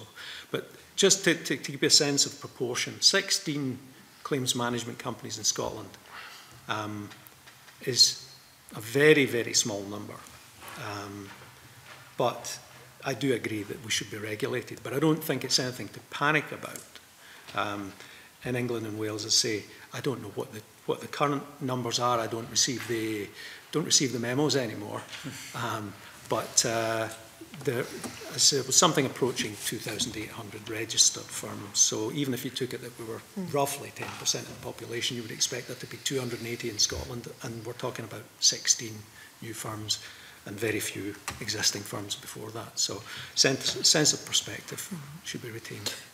I mean, the, the Scottish Government has argued that claims management companies are covered by the definition of um, a provider of relevant legal services within this bill. But if all of you agree that they should be regulated, am I to suppose then that you don't agree with the Scottish Government's view? Uh, I don't think that that you can say that we, are, we provide legal services per se. We provide access to legal services. Um, we provide assistance in finding uh, the right path to justice. Um, But we don't, in my own instance, we don't actually provide legal services. So uh, that, that catch-all doesn't really apply, I don't think. Okay. Does anyone else want to make any brief comments before I've got a very, a very short final quick question I wanted to ask? Can, can I just ask panel then, if, if there is a delay in regulation of claims management companies, however long that may be, is there a potential for any um, um, problems to occur in people um, that, that are, are looking for services and where they go. And, and we spoke earlier about cowboy companies. Is, is there a potential for cowboy companies to, to slip into a gap that's provided before regulation hmm. happens? I see Mr Doherty is furiously nodding. Yeah, no, absolutely. I mean, this is, as I say, this is why both Which and the ABI are in absolutely the same place on this, is that it, it's absolutely common sense that if England and Wales – has a tighter regulatory framework, those less scrupulous firms are going to look and say, well, Scotland isn't you know, having that yeah. same regulatory framework. And, it, and, and let's be honest, if, if we are waiting for Esther Robertson's review to, to be published and then have a bill come forward and then be enacted, it could be a significant period of time in which that, that, that vacuum of regulation occurs. So that's, that's absolutely why, as I say, Mrs. Fee, it either needs to be done through this bill or done through the financial guidance and claims bill. Okay. Thank you, that's helpful. Thank you. Um, a couple of the panel members have, have made reference to the Esther Robertson Review of Regulation of Legal Services, and it certainly will be touching on aspects of this bill which have been um, concerning. So I think the committee, given that there seems to be a lack of progress with that review, the committee will write and ask for an update of exactly where they are and um, perhaps make specific reference to the aspects of that review which um, are pertinent to this bill. Ben McPherson. Good morning come back to uh, an issue that was raised at the beginning of this evidence session by Paul Brown and, and Thomas Docherty and also in, in Witch's written submission. Uh, and that's with regard to part four around group proceedings. Um, there was some discussion earlier, but I'd like to just probe it further around the alternatives between an opt-in system and an opt-out system. Uh, Mr Docherty, I know you've, in your written evidence and, and earlier, argued that uh, you would prefer an opt-out system, and I wondered if you could just explain why you see that as more advantageous. Um, I think that you know, look, what we're what we're talking specifically about, Mr. McPherson, are those those types of claims where the the detriment to an individual is relatively small, but there is a large number of uh, claimants. Um, so, if we have an opt-in mechanism, what which or indeed a law firm or anyone else would have to do who, who wished to act on behalf of those claimants. They would have to uh, bear all the upfront cost and resource commitment in, in reaching out and trying to find everybody who was potentially affected by uh, that class action, um, advertise widely and then demonstrate to the courts uh, that uh, they were suitable to, to represent those people. Now, that, that is obviously going to be fine where the individual claim is worth, frankly, a huge amount of, of, of redress or compensation. But if it's, a, if it's a relatively small amount of money, then with the best will in the world, um, you, you know, which or law firms or anybody else is really going to struggle um, to, to, to be able to justify uh, that. And I would also add, we've, we've had some interaction with the Scottish Government on this issue, and we are puzzled by their argument, which is that it's too difficult to come up with a system of opt-out. Um, we have opt-out now under the 2015 Consumer Rights Act. Um, it, it I, I would argue it operates effectively for two reasons, because people understand the mechanisms that they have to go through to, to demonstrate that they are acting on behalf of a class of people. And secondly, the bar has not been set to a place where we've seen vexatious claims being brought forward. We're not going to see, I'm sure my age now, a kind of a Boston legal or LA law style mass class actions. We're talking about a relatively small number of cases. And as, as we've said in our evidence, Mr. McPherson, you know, we've, we've, we, we have cases where either we've done opt-in and we frankly, you know, like the JJB sports football shirts case we could talk about, where we actually weren't able to represent everybody affected because it was an opt-in under the old system. And we've had the opt-out in the last couple of years where we've only two cases so far um, at UK level, the MasterCard case and the disability mobility uh, scooter case, both of which are currently not being proceeded because the judge involved said you, you actually haven't met the threshold. So in conclusion, we think opt-in will not lead, will not do anything to help the small the, the, the consumer on the individual small amounts of money, um, and it has to therefore be opt-out, and opt-out is a system that does currently work at UK level um, under the CRA. Again, that, that, that's interesting from the consumer perspective. Mr. Brown, you touched on earlier on the community perspective in terms of the difference between opt-in and opt-out, and that this interests me as a constituency MSP as well as a, a member of this committee. So well, the if you could elaborate. Public on. Health Act petition procedure was most definitely opt-in, and a group of people all concerned with disrepair in a, in a block of housing, and that worked well. But I take the point that um, in something that's more diffuse, people leasing it are going to have big expenses and a community situation where people know each other and possibly know the social media to look at and so forth, things will take off. But in a, on a national basis or where there's um, significant amount, sorry, smaller amounts of money involved, you can certainly see there'll be problems. My experience of the New York case, that, which I was a beneficiary, it was, it was a, an opt-out um, and that worked very well. The thing I would be concerned about is that It has taken an inordinate amount of time to get to where we are,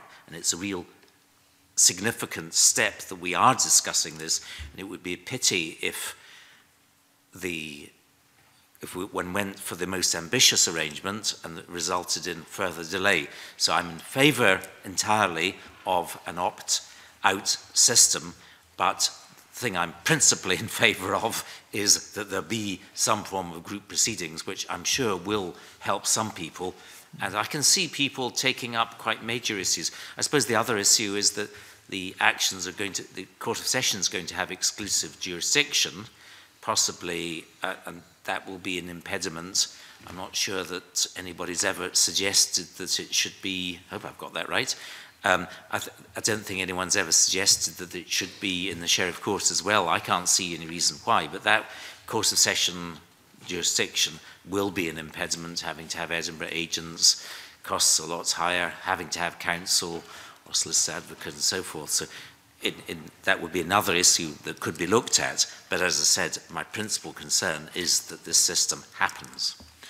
So, so the opt-in system could be of benefit to communities. Yes, but, yes, I eh, think eh, so. Yes, eh, yes. You, you yes. are you are principally in favour of opt out. If in, um, in, I can see people taking up group actions, you know, almost immediately um, in a community basis. And I suppose communications are cheaper than they were, but nonetheless, there is an issue. So if someone was to say to me, which I would be in favour of the, you know, going for the most ambitious arrangement, but not if it took five years for the rules to be produced.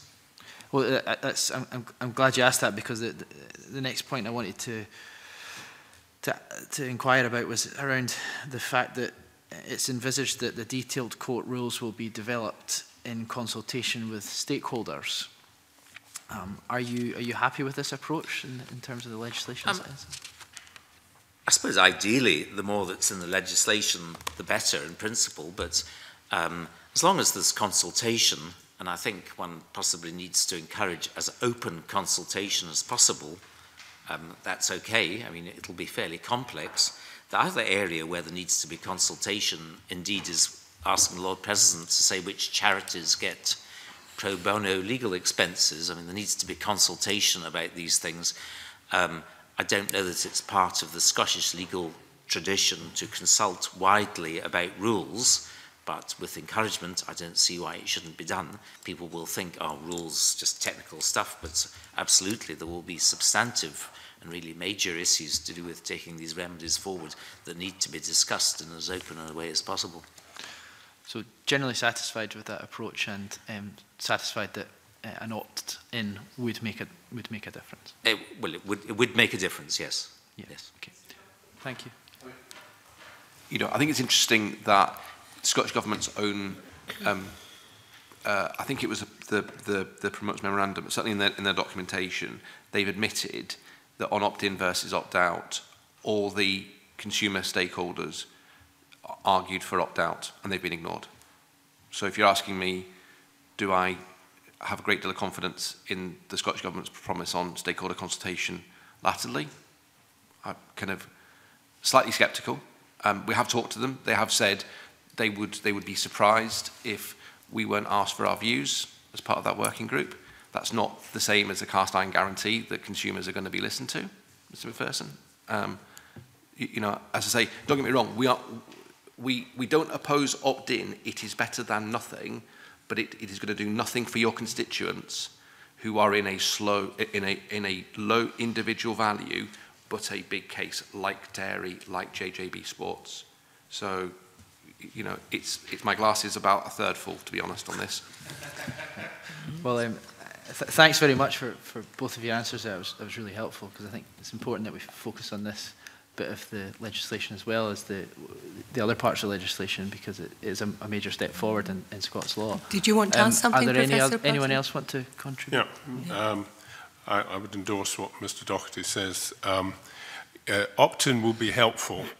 but uh, opt out has much more impact, as the Americans showed it. I mean, in the pre Uber days in America, they found, if my memory serves me right, the New York yellow taxi cabs were all overcharging across the board. So they didn't say, let's get everybody who's ever used a New York taxi in the last five years to opt into an action. What they did is they included them all in and brought the action. Now, they couldn't pay damages to 5 million people, so what they did is they forced the New York taxi companies to lower their fees for the next two years or something. So this, you know, it has a much bigger impact for consumers uh, if you go for opt out. Okay. Yeah. Just could I clarify, at the beginning of our evidence session, um, a um, number of the panels made reference to class actions. The bill refers to group proceedings. Is there a difference? Absolutely not. And just in finishing, the referral um, issue we take on board as being a little grey and looking at the regulation. And can I just again um, highlight the written submission from Mr Doherty, which has some pretty eye-watering figures in terms of 3 to 5 billion between April 2011 and November 2015 um, in some of these um, fees charged by um, CMCs and the point being made that they, they could perhaps have gone directly to consumers. So it's another aspect. It's there in written evidence. We don't necessarily have to take any evidence on it now. Professor Patterson. Yes, I, uh, sorry, I, I apologise if we're coming on to it, but the, the, one of the key things about um, group actions is how you fund them. And if, if, if we're not going to have a chance to say something, then I think oh, Paul Brown and I would like to say something about them. This, this is only going to work if you can find a way of funding them. The, the, the class actions or group actions are very important things, but you've got to find a way of funding them. Now, uh, legal aid might be one way, but legal aid set up for individuals. So we've got examples in England and Wales where they have a kind of group action procedure where they had a, a big litigation on behalf of old age pensioners where a drug went wrong or alleged to have gone wrong. Half the people, the thousands of people who were affected, were eligible for legal aid and half weren't. And it looked as though for a while the half that were eligible were going to get their claim dealt with because the legal aid would cover them, and the half that weren't, they were just going to lose out. They were going to have to be excluded from the action. In the end, a millionaire came out of wherever and paid for the, uh, the, the fees of, of, of the the ones who aren't eligible for legal aid. That's no way to run your, uh, your, your, system. We have to allow legal aid to, be, uh, uh, uh to operate in this case, but it will require the regulations to be changed to allow uh, groups to be assessed in, uh, in a way. Okay, thank you for that clarification. And final question, because we have overshot our estimated time the issue about group legal aid has been a, always been a major problem, and it isn't just to do with this field, it's also environmental matters and the problem about one person representing a group of people and then the legal aid board saying, well, the group of people circumstances need to be assessed as well. There is a need for thinking outside the box on that particular issue.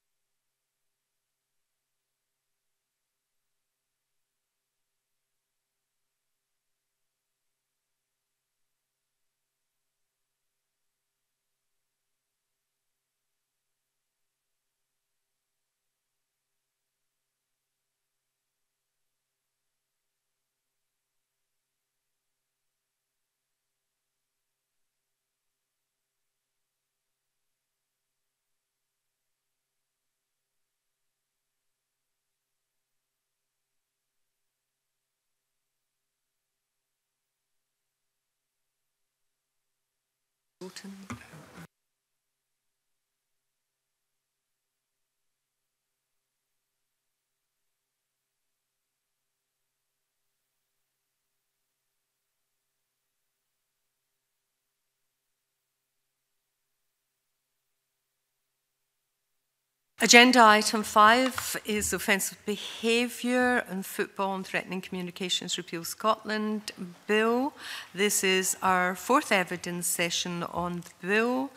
and I refer members to paper five, which is note by the clerk, and paper six, which is a private um, paper. And I again uh, welcome our regular visitor to the committee, James Kelly, the member in charge of the bill. Also welcome An Andrew Tickell, lecturer in law, Glasgow U Caledonian University, Dr. Joseph Webster, lecturer in anthropology at Queen's University Belfast, Dr. Stuart Wayton, Senior Lecturer, Division of Sociology, School of Social and Health Sciences, University of Aberdeen in Dundee, and Dr. John Kelly, Lecturer in so Sport Policy, Management and International Development at the University of Edinburgh. And can I thank um, all the witnesses for providing written submissions. These really are very helpful when we're preparing to, to take evidence from you to have these written submissions. We move straight to, to questions and can I start by asking the members if they wish to comment on the general terms of the proposal, uh, just very general, not going into too much detail, but general terms on the proposal and if they can see any merit in the legislation who'd like to kick off. Don't all rush at once, right, Mr. Uh, just to Dr. clarify, Webster. are you essentially asking us to comment on yes, whether sure. or not we support the repeal, yes. and, and if so, why? Yes.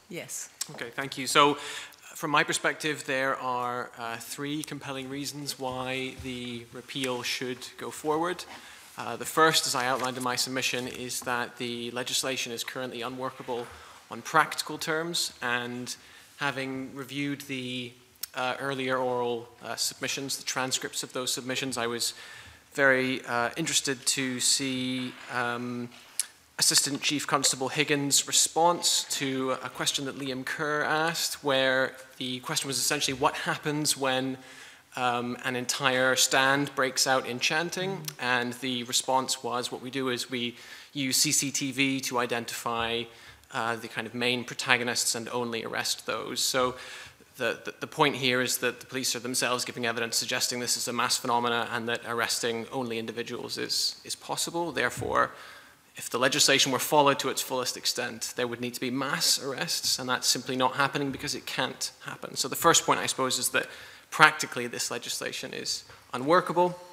The second point, uh, more briefly, is that uh, the legislation is not justified on free speech grounds. Uh, part uh, 6.5 of the legislation does restrict Part 7.1b, the legislation essentially says that uh, it makes uh, acts of hatred uh, illegal, but it does not restrict antipathy, dislike, ridicule, insult, or abuse. And the key problem here is that there is uh, insufficient ability to parse those uh, behaviors, uh, as evidenced again in earlier oral submissions, whereby police are needing to be trained on how to interpret those different behaviors and how to classify any given uh, behavior as either hateful or perhaps abusive, and where do we draw the line there? Uh, and thirdly, um, and this is a, a slightly finer point, but I think it's absolutely essential, is that the Act fails to understand uh, the types of behaviors that it is attempting to make illegal, not only as a type of uh, performance, which the repeal bill outlines on uh, page 10. I think that's a very important point.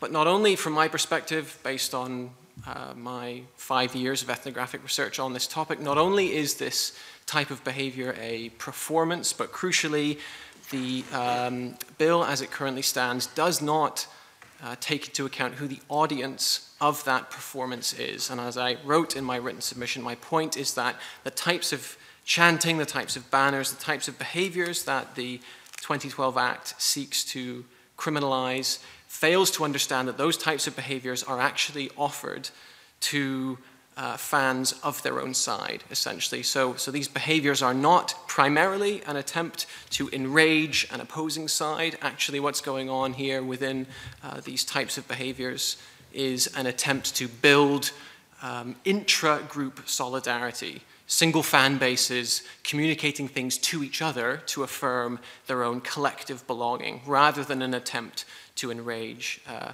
an opposite fan base. The, the, the, empirical evidence for this is pretty clear. The vast majority of this type of behavior uh, occurs either in single stands where fans are strictly segregated or indeed in uh, pubs and social clubs where the opposing fan base is simply absent. Mm -hmm. So uh, the point stands that this is about single fan bases building collective identity amongst themselves, not primarily an attempt to uh, enrage the opposite side, who in most cases are simply absent from the situation. Thank you. Other comments on um, the general position on the bill? Who wants to go next? Yes, go. Dr. Thank Kelly. you. Um, well, I would, I would also support the repeal of, of the bill um, because I think some of the warnings that were highlighted actually before the original bill have come to fruition. Most namely, I think, is uh, this still in Scotland, this misunderstanding of what it is we're trying to police or legislate for when the word sectarian rears its head. And uh, now I noticed the original bill didn't have the word sectarian mentioned in it, but nevertheless, much of the public commentary on this frames it as an anti-sectarian bill And I think there's problems with this in the way that, the way that it's being policed and legislated, because what it does is it actually, in reality, it, it does, potentially does the opposite, in fact, of what the original bill sought to do, i.e. the original bill sought to protect ethnic, national and a variety of other identities, sexual, gendered, um, disability and so on. And, and what that does in Scotland when people, when certain people from both of the, the major I suppose, groups within the sectarian divide in Scotland. When, when those groups exhibit elements of what they believe, and I would argue quite correctly in many respects, are their national identities, diaspora group attachments and identities, that, that these are legitimate identities for um, diaspora groups. And rather than being protected in actual fact, as, as the original bill sought to protect, Some of these groups are actually being um, accused of inciting hatred and intolerance um, and, in, and you know, performing offensive behaviour. Now, that's not to suggest that some of these national identities can have intolerance attached to them, but that's the key for me. We don't, we don't seek to police or protect um, gay and, and homosexual and lesbian communities with this bill or any other bill, by stopping people expressing elements of their gay identity. And this is a crucial, but it's a subtle, but it's a crucial distinction. In Scotland, when we seek to police and legislate and stop what some people perceive to be negative around sectarianism, sectarian behaviour, they confuse sectarianism, they confuse intolerance and hatred towards the other based on the belief of the other person's religious or national identity. And that's different from policing someone exhibiting elements of a national identity. And this is, this is what's been happening in Scotland, particularly with um, some of the fans that are being arrested for two or three different songs that, that in actual fact, that in actual fact don't um, mention any intolerance or hatred of anybody else's protected characteristics that are actually in the original bill. So I think that's, that's a key element for me that and, and offensiveness itself is open to interpretation in the nature of racism, bigotry, homophobia, um, and, and the, the, other, the other uh, isms, if you like, um, with regard to the other protected groups. The nature of these problems is that it's very subtle. Some of the, some of the, the prejudices are very subtle to such an extent that it's difficult even for, for the police and the law courts to agree on what actually is and is not offensive. So I, I would support the repeal for those and indeed some other reasons, but they're the main reasons. Professor Dicker? Not professor. You promoted me in that oh, context. Oh, I'm grateful for it. Oh, but, well. Um, and you'd get your name wrong somehow or other. Well, I thank you very much. I appreciate, I appreciate the effort. Um, Thank you for inviting me here again today. My attitude towards this legislation is probably unpopular with more or less um, all of you. I think this is a bad piece of legislation. I think in parts it reads like magic realism. I think the legal criticisms of great parts of this bill are very well founded. And I think the response that this Parliament should make to those failures in the bill is to uh, amend it and fix the problems with it rather than straightforwardly repealing it. I think it's actually quite straightforward to transform the offensive behaviour at Football Act, particularly Section 1 of the legislation that's been the focus of uh, the session thus far, into a pretty mainstream public order um, offence. So you do have the opportunity to do that. If you choose not to, then obviously that's your, that's your choice. But I think there are big problems with it. But it is using a sledgehammer for a task for which a scalpel is better, better devised, I would argue, um, to completely uh, strike this act aside, particularly in the context of a fact which a number of the witnesses you've heard from have already mentioned, which is Lord Brackadale's ongoing ongoing uh, hate crime review. I think in that context, it seems to me it would be more sensible to make amendments where the act is bad and to uh, listen to what Lord Bracadale has to say about the future of hate crime in Scotland and then revisit those issues. That, in a nutshell, is more or less my attitude. Right. Dr. Wheaton? Yeah, um, well, as you know, I, I, I oppose this. Um, I, I think it has to be put more um, generally in terms of the the sort of political culture as well in terms of what we're looking at. Um, because there's a, a key element of this, I think, where you could describe it as part of creating what you could call a safe space society. So a society where um, people learn that if they say certain words, they will be shunned, possibly sacked or arrested in the case of football fans which is essentially what this is, I think, this bill. We, we hide behind this public order issue. But essentially, this is the criminalisation of words and thoughts and the arresting and imprisoning of people because you don't like uh, their words. And I was listening, interestingly, on Radio 4, they were talking about the Profumo affair and Christine Keeler in the 1950s, sort of 50s, early 60s, and uh, obscenity and the use of the idea of obscenity. And uh, it's often quite difficult, I find, to try and explain what we're looking at with acts like this because they seem to be political because they talk about things like racism and sectarianism. But at the same time, it also seems to me much more to be a form of etiquette and training of correct behavior. So watch the last discussion, and you're constantly talking about behavior. Yeah, the behavior, the behavior of fans. We don't usually talk about the behavior of murderers or rapists, because crime is a crime. and you talk about their crimes, but you're talking about really educating their behaviours in quite a schoolmarmish, uh, arguably patronising way. We need to make these people aware uh, of how they should behave.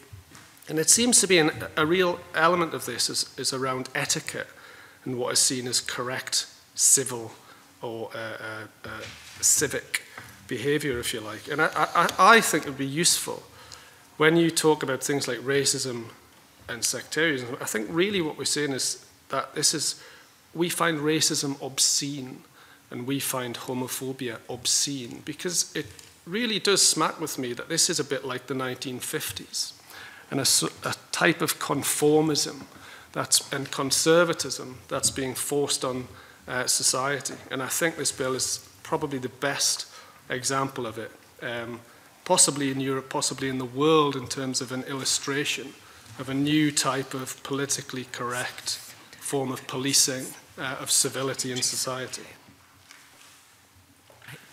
Fulton, is it very brief? Yeah, uh, yeah. it's actually just a, But, mm, thanks very much to, to all the panel for the uh, eh, submissions so far. It was to pick up on a point that Dr Webster made, something that I think is the first time we've sort of heard that angle on things that mm -hmm. actually people who are um, engaging in songs and behaviour are doing so uh, to their own fans, supporters.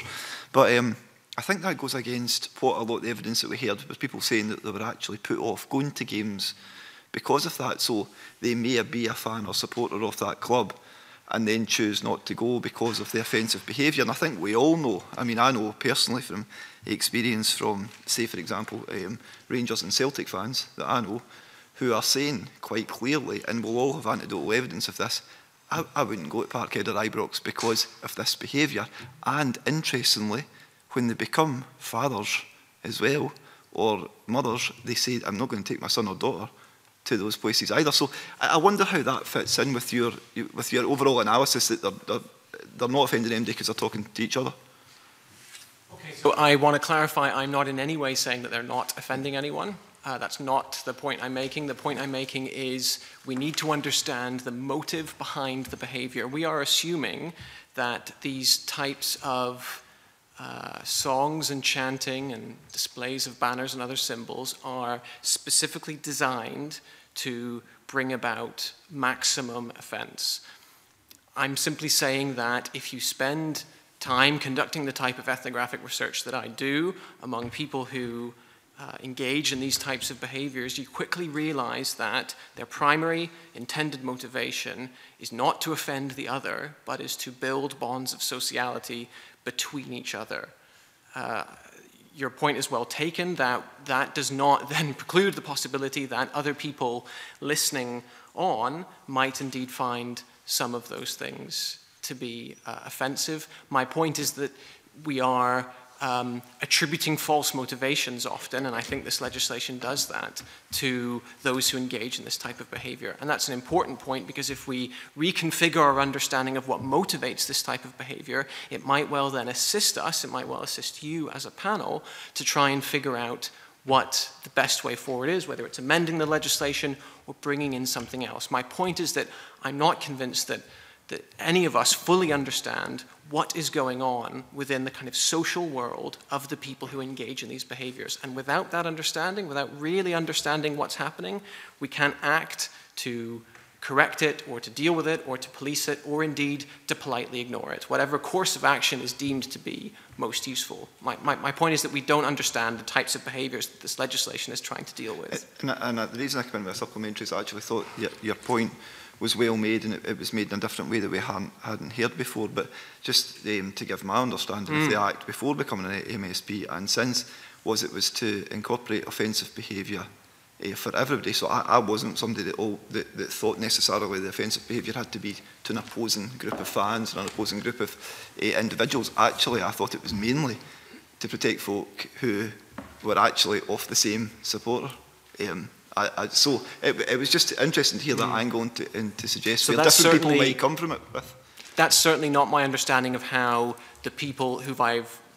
spent time researching yeah. among would understand the legislation. They see themselves as the victim of this legislation because they see themselves as the one being policed against. Now, whether or not that's the case, from my perspective as an ethnographer, is beside the point. The point in terms of how this legislation is interpreted by those who think of themselves as the victim of this type of legislation. It then has all sorts of unintended consequences about how they relate to the police, how they relate to each other, and that's something that I'm sure we'll go on to talk about later. But the understanding the kind of internal social life of the groups that are being targeted by this legislation is essential in order to figure out how this legislation will or will not work, and also what are the unintended consequences that it's bound to have. Dr. Whitty. Yeah, um, I mean, it's worth bearing in mind that you, know, you try and get a ticket for an old firm game, you have to bite somebody's hand off for it. So people are queuing up to get to these games. And the viewing figures when these games are on television are bigger than any other game. So, you know, there might be some people who are offended by this. Mm. There seems to be an awful lot of people that are desperate to watch these games, as I would be uh, if Rangers were any good uh, and it would be worth watching. But Um, I think it's also worth bearing in mind that you don't have to go to Celtic Rangers type game to find people who have found football uh, offensive. I grew up in Newcastle. I knew lots of people who wouldn't touch football with a barge pole, uh, people who generally saw themselves as more respectable uh, than that. Because uh, football was seen as uncouth, and to some extent it is uncouth. Uh, and that's what a lot of people love about it, because it is offensive, in your face, sweary, shouty atmosphere, and some people don't like that. So you don't have to go to an old firm game to find people who are offended by football. And you've also had a lot of snobbery about that. The Times had a, a nice article in the 1980s that said uh, football is a slum game watched in slum stadiums by slum people. And I think there remains a snobbery about football fans, except it today takes a more politically correct form. Uh, so I think if we're looking at people who are offended by football fans, sometimes we can look at prejudice and bigotry towards fans rather than just take this uh, as, as uh, yeah, good on good faith. Okay. Um, I've allowed quite a lot of latitude. That was a, a, a supplementary, and we have a, a lot of questions to get through in a limited time. So uh, we'll move on. Rona. Thank you, Convener. Uh, good morning. Um, I suppose my questions, my initial um, questions really for Dr. Waiton. We've heard from the evidence from the Women's Convention, disability groups and equality groups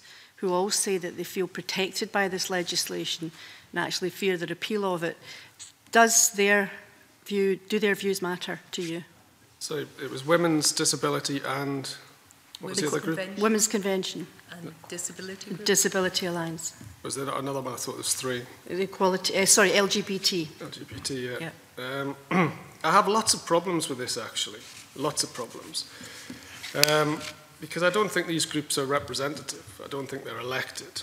Um, they seem to be special interest groups.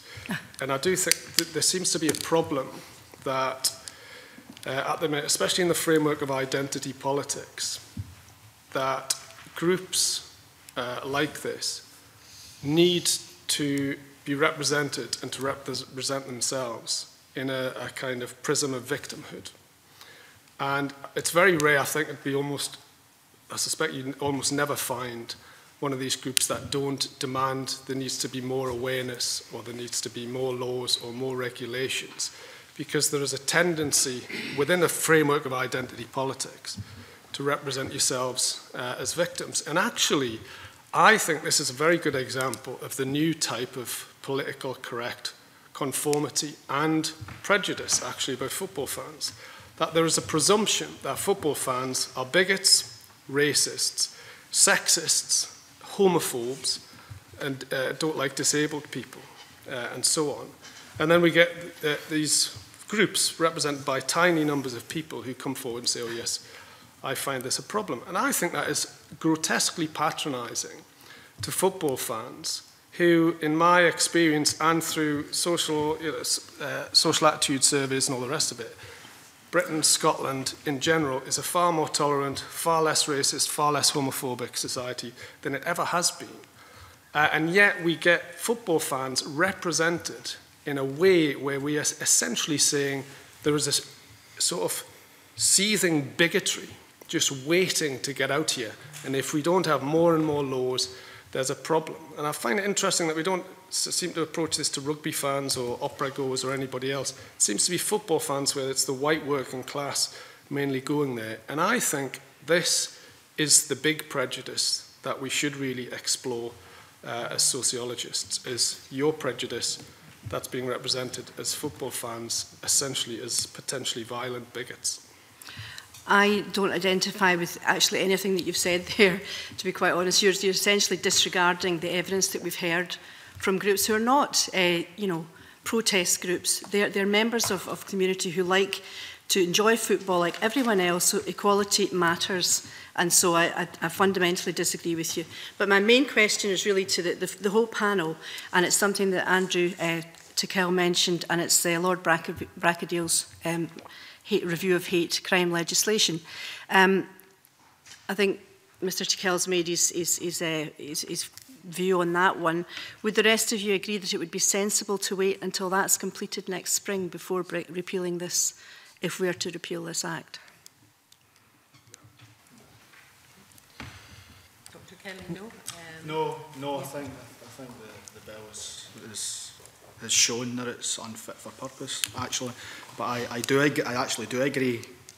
to some extent with the Women's Convention and Disability and Lesbian and Gay and Bisexual and Trans groups' rights. I, I agree that those rights need to be protected. But my question to that would be, I wonder what the figures are for the current arrests and convictions and indeed non-convictions for offences at football since the bill's been, the original bill's been in power, um, for offences against those groups. Because I suspect, and again, like my colleagues here, I've, I've actually done research and, and I do ethnographic research also with these groups. I'm not aware of any mm -hmm. case where it's where it's been where it's been for those causes. But that's not to say that we we should you know we shouldn't protect those people. But if the bill if there's a bill that's that's flawed and faulty for if we if we do agree, agree that it is indeed you know no that's not complete agreement. But if it is agreed that the bill is flawed and faulty, I don't think it's a good enough reason to hold on to it because there's a fear from some minority groups that, that they, they feel that it's protected them. I think we could come up with something better, quite frankly. And as I say, I'm not entirely sure that it's people from those groups that have been the,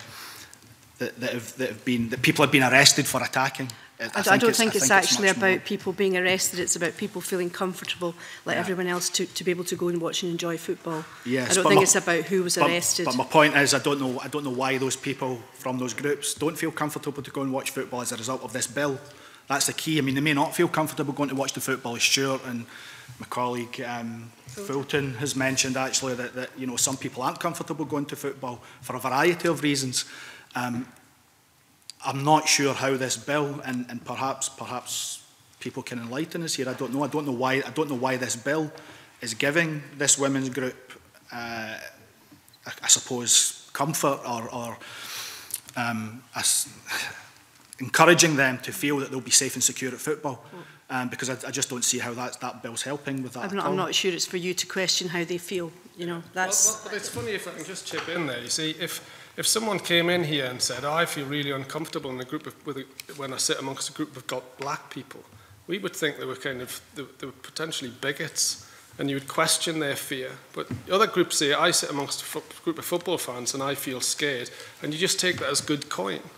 right? And you don't question that actually perhaps that's their, their fear isn't legitimised. Certainly not legitimised by any of the statistics that I've seen in terms of attacks on gay people black people, women at football games, zero as far as I can tell. That's not true. I think there was two incidents of homophobic arrests as far as I'm aware. But you take that fear as good coin, right? Instead of saying, well, actually, perhaps we shouldn't just accept fear of other people as legitimate, but perhaps that just fits into our own prejudices and then it goes unquestioned.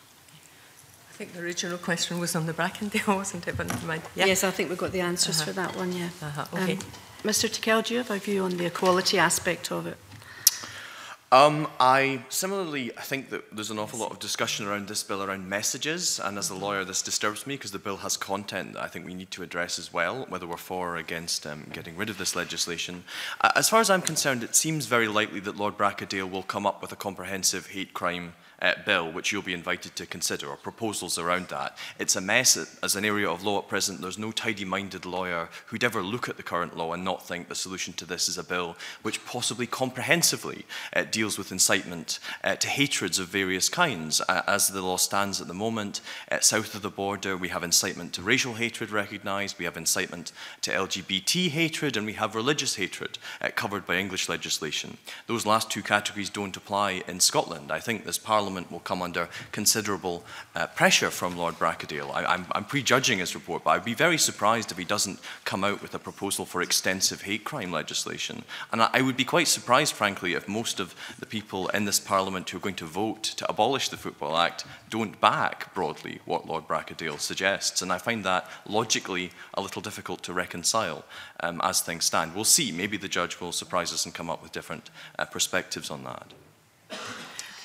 Mary, uh, a brief supplementary, and it's probably going to be less supplementary given we're way behind. Okay, thank question. you, Convener. I'll try and be as brief as possible because I do think that we really have to uh, sort out some of the, the terminology and the words that are being used in the meeting so far today. So I do take great exception to some of the assertions made by, uh, by Dr Waiton. Now, I don't think you'll find anybody around this table that would say that all football fans are bigots, homophobic and racist.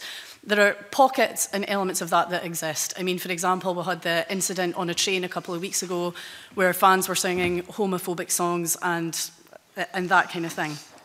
So it does happen. But to actually dismiss the other evidence that we've heard uh, and dismissing this women's group, I think, as Dr. Kelly said, and talking about how grossly patronising it is. I mean, I think it's grossly patronising to refer to the evidence that these groups have given uh, in, the con in the context that you have. And I do think that when we've been discussing this bill, it seems like the evidence that these groups have given has been analysed in a way that we haven't done in, in other bills and completely picked apart.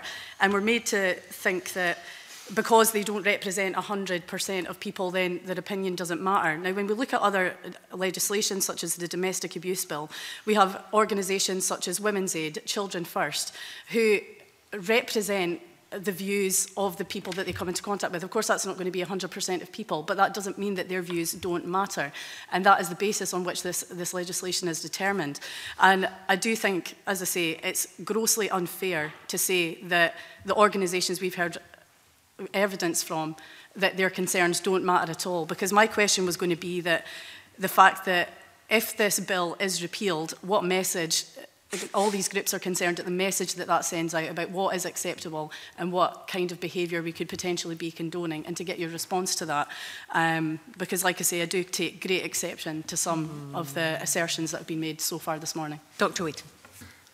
Yeah well as a criminologist you always try and look at things about are fears real?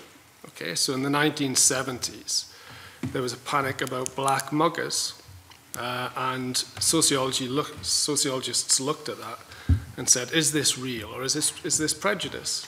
I think we should do the same thing when other groups say that they have fears about other groups in society. But we don't do that. We don't do that because there is a certain etiquette and political framework where these groups are seen as that's they're on the side of good and they're on the side of bad. So I do think there is a, a genuine prejudice there. So, for example, the idea of old firm domestic violence became an established term. Uh, and then I, I worked out the number of cases this referred to, and there were more newspaper articles the number of cases that, refer, that, that, were being referred to. I then tried to calculate, and this was a conservative estimate, how many football fans in Strathclyde, football fans in general, were involved in domestic violence incidents that led to an arrest. I calculated that this was 0.0003% of fans, which meant that 99.9997% of fans had nothing to do with domestic violence that led to arrest on the days when we started to talk about domestic violence. Now, if these statistics were used about any other group in society where you have terms being bandied around and groups of fans being associated with things like domestic violence, it would be seen as a moral panic. Dr. Webster. Can I respond directly to the question of um, what message does this send if the legislation is repealed? I think that's an excellent question. I think it's a really important question for the panel to consider my understanding is that the message it would send would be that this legislation is not fit for purpose. And the wider point here is that just because the faulty legislation, as I think the panel in general agree, the legislation has very significant problems, just because a piece of legislation that is faulty is repealed does not mean that you are necessarily affirming the validity of the types of behaviours that the bill is trying to restrict and criminalise. The way in which this is uh, perceived is something that is essentially all of our collective responsibility to deal with. To say that this legislation should not be repealed because it might send a problematic message to potential offenders is not a good enough reason not to repeal it.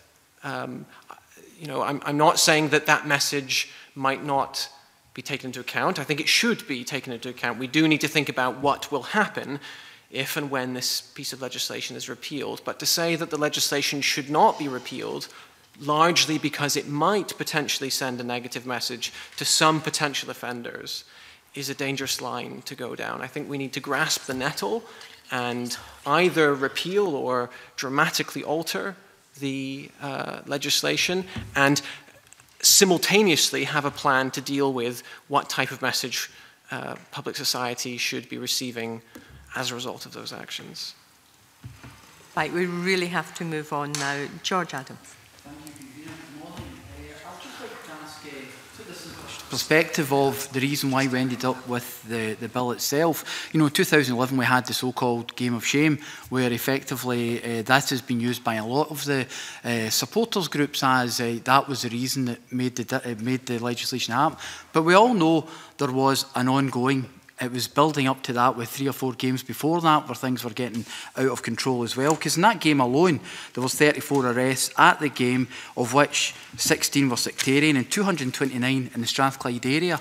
So, and one of the other things is during the Old Firm uh, Cup tie, uh, there is actually the driving up domestic abuse rates of 43%, according to the police in 2000, uh, during that game, there was 210 reported incidents as opposed to a normal 146 on the same day normally. So is this not an example with all that and the fact we have the Jewish community and Stonewall and Scottish Disabled Supporters Association saying that they feel protected by this bill? Is that not the case that, you know, when you look at it that way, the government was probably right to legislate on this? We'd like to start off with that one. Well, I mean, I'm happy to address that. I think um, that often the, the principles behind this bill are, some people would say they support them. I think it's undeniable that this bill was extremely badly handled by the Scottish Government, that they raced it through Parliament with limited scrutiny, they added additional provisions late on, which actually are frequently the most problematic provisions of this legislation, and they specifically highlighted in Section 5 those areas that are particularly problematic. They give the government the power to knock out the particularly problematic sections here. I suppose the question is, uh, is it important that we have the criminalisation of offence as opposed to the kind of criminalisation that was undertaken under classic uh, breach of the peace provisions. I'm not sure I'm persuaded, along with a number of other people, that we need to criminalise offence for starters, but people will disagree about that to some extent.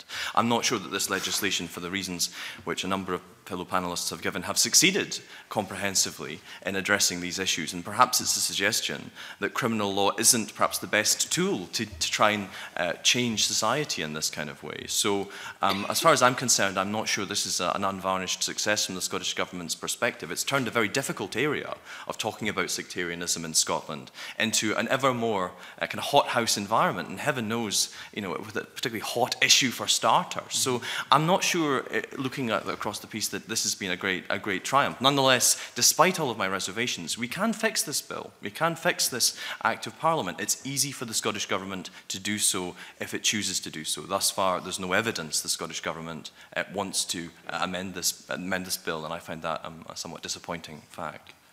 Other views? Uh, Dr. Yeah. Kelly? Well, coming back to George Adams' point um, with regard to the so-called shame game, there were other issues, of course, around around that time um, with Neil Lennon and, and other, I suppose, sectarian-related um, issues. So it wasn't, as colleagues probably know, it wasn't simply that game. But an answer to your question about what can we do about about that sectarianism, make a bill that deals with sectarianism. Don't make a bill that deals with offensiveness, which which is open to question and in actual fact doesn't, doesn't actually specify for any of us around this table or the police or the courts, actually truly specify what, what this country thinks is sectarian and what is sectarianism. Again, I keep coming back to this because this is crucial. It, is, it should not be illegal for people to have a sectarian identity. That should not be illegal. And there's confusion and misunderstanding about that in this country. It's when one's identity whether it's sectarian or not, as an identity. It's when that identity is exhibiting intolerance or hatred towards someone else's identity based on religion or any of the other protected characteristics. And I, I certainly, I, I do certainly support, as I said earlier, the, the protection of those other characteristics um, in a properly worded bill.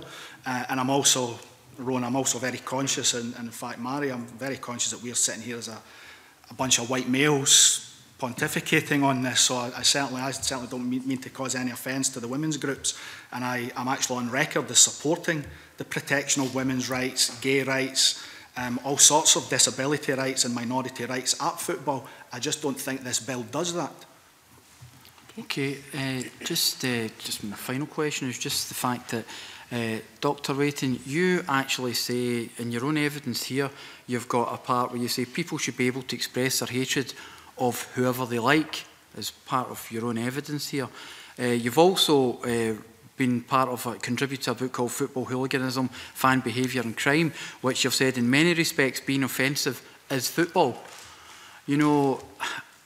the simple question to that is, are you saying that anybody can say whatever they like, whenever they like, no matter how offensive someone finds that? Yeah, I mean, I know it's, I'm a bit of a, an extremist like this, but I don't think you should arrest people for speaking words. I know it's crazy in a liberal free society that, you know, uh, but there you have it. If someone sings a song, I don't think you should call the police and put them in prison for that. Um, you know, I mean, unlike well, doc, most... Dr. Waiton, can I just... just un unlike, I, unlike most of you, let finish I was actively involved in, in anti-racist politics. The first newspaper I sold was in defense of gay rights as it happens, I think it's strange. that we talk about protecting people. You know, we, in fact, was it Ian McGuirter? Ian McGuirter, that extremist who said the Scottish government re would, should realise that the right to offend is the most basic right in a free society. So yes, it's, it's true. In a liberal, free society, different ideas and views should be expressed. And if you disagree with them, you should challenge those views with politics, with campaigns, with articles. When was the last time you out on the street handing out a leaflet? Perhaps you should do that, talk to ordinary people. So yes, I don't think you should put people in prison for the words that they speak. Shock. Can I just say, Dr Waiton, but one of the things that, uh, as a football fan, uh, a St fan for my sins, Uh, I've actually, uh, I remember a time back in the 80s when St were actually playing in European football and Ruud Hullett came along to with Feyenoord And he said it was the worst racism he'd ever experienced in his whole career. He still on record, actually mentions that day in Love Street as one of the worst. Now, that was wrong then. And I knew as a, a young man just in primary school at that point, it was wrong to do that then? Is it not the case that there has to be some form of where people have to control themselves and they can't just say whatever they like at any point, and particularly when there's groups at football games well, as well? Why do we assume that this is a problem in football now?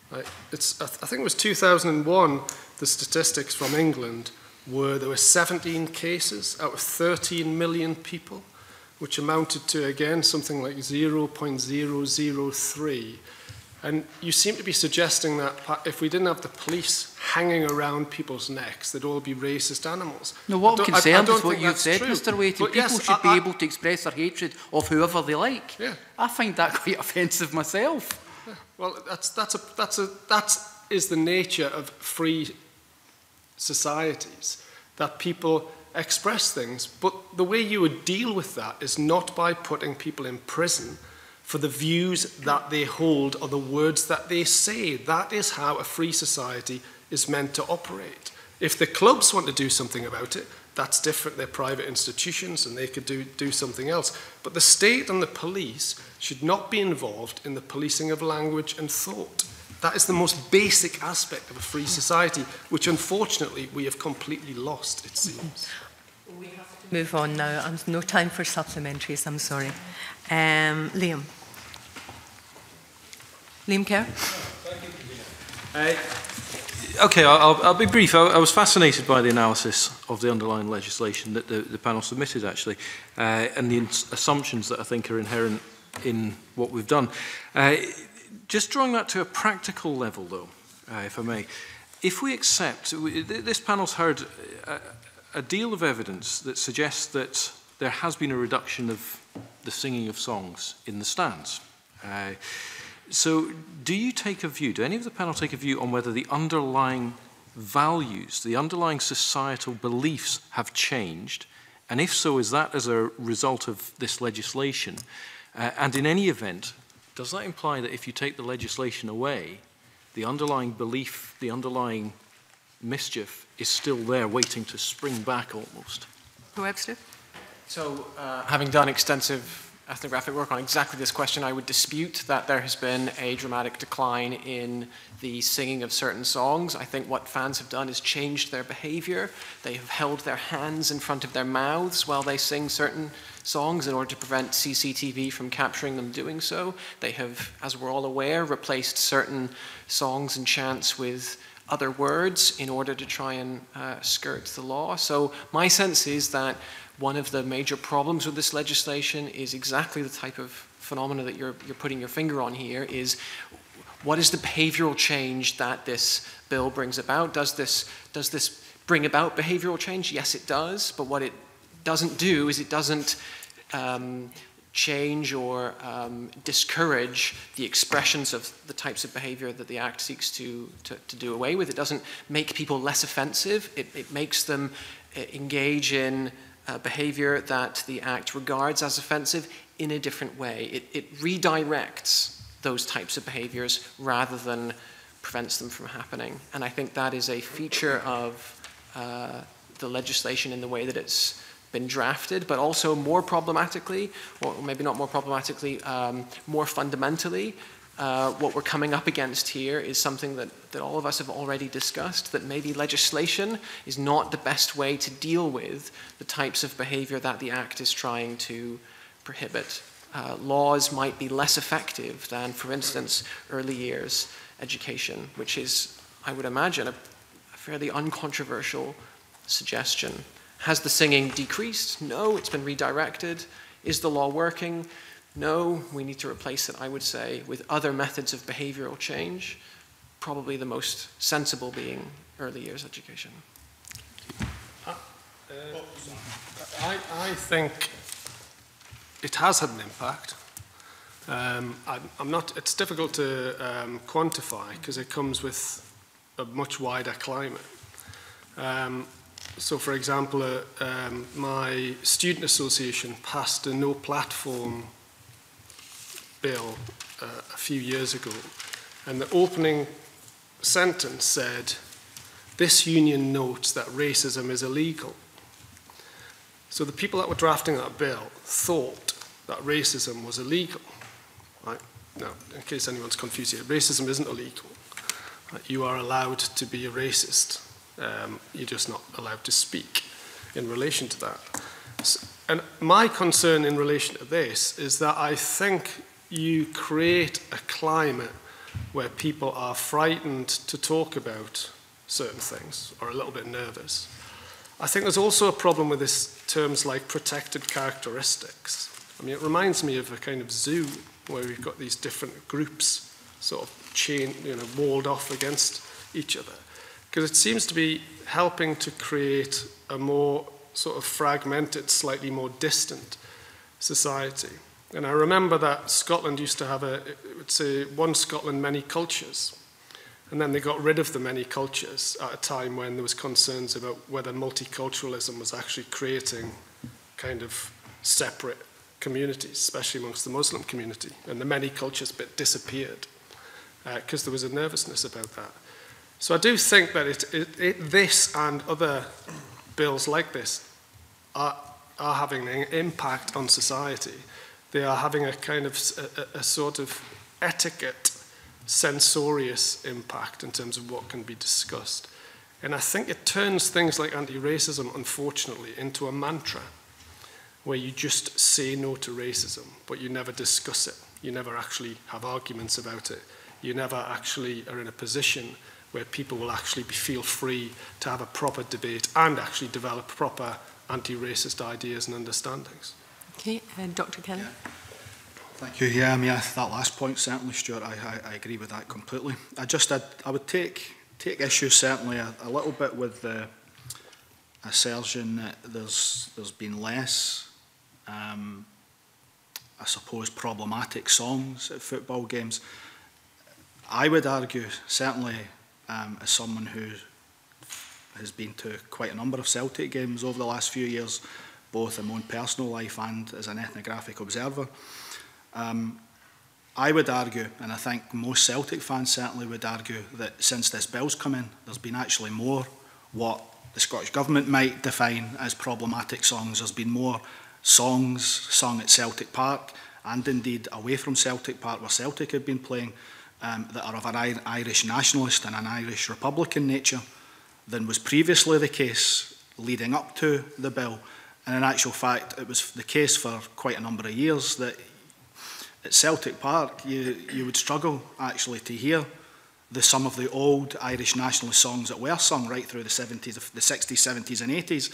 Songs like Boys of the Old Brigade, for example, um, that mention the IRA and indeed are about ver various versions of the IRA or Irish nationalists or Republicans, if you prefer.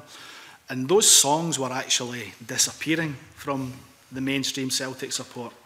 And this bill came in and they've, they've actually they've become more popular in many ways, almost as an act of defiance in some respects that the state, to some extent, an agreement with Stuart, certainly some of the fans that sing it, we shouldn't be told by the state. They would say perhaps that what we should sing, what the state shouldn't be controlling people's songs. And I, and I just I think to some extent probably the, just possibly the same with Rangers. I'm not I'm not so sure if it applies to Rangers as much, or, or indeed any other clubs that this may affect, Hearts or Hibs, for example. Um, but I, I suspect that part of the I suppose the encouragement to sing these songs, or the motivation to sing these songs after the bill, was to show that they thought the bill was unfair, and they thought the bill, in actual fact, was prohibiting them from expressing elements of their national identity. A national identity people in this room might not understand or sympathise with, but, but a national identity that they identify with. And that's the key. That's one of the key points that, that, that we, we completely fail to understand and grasp and, uh, across the, the, the official structures in this country.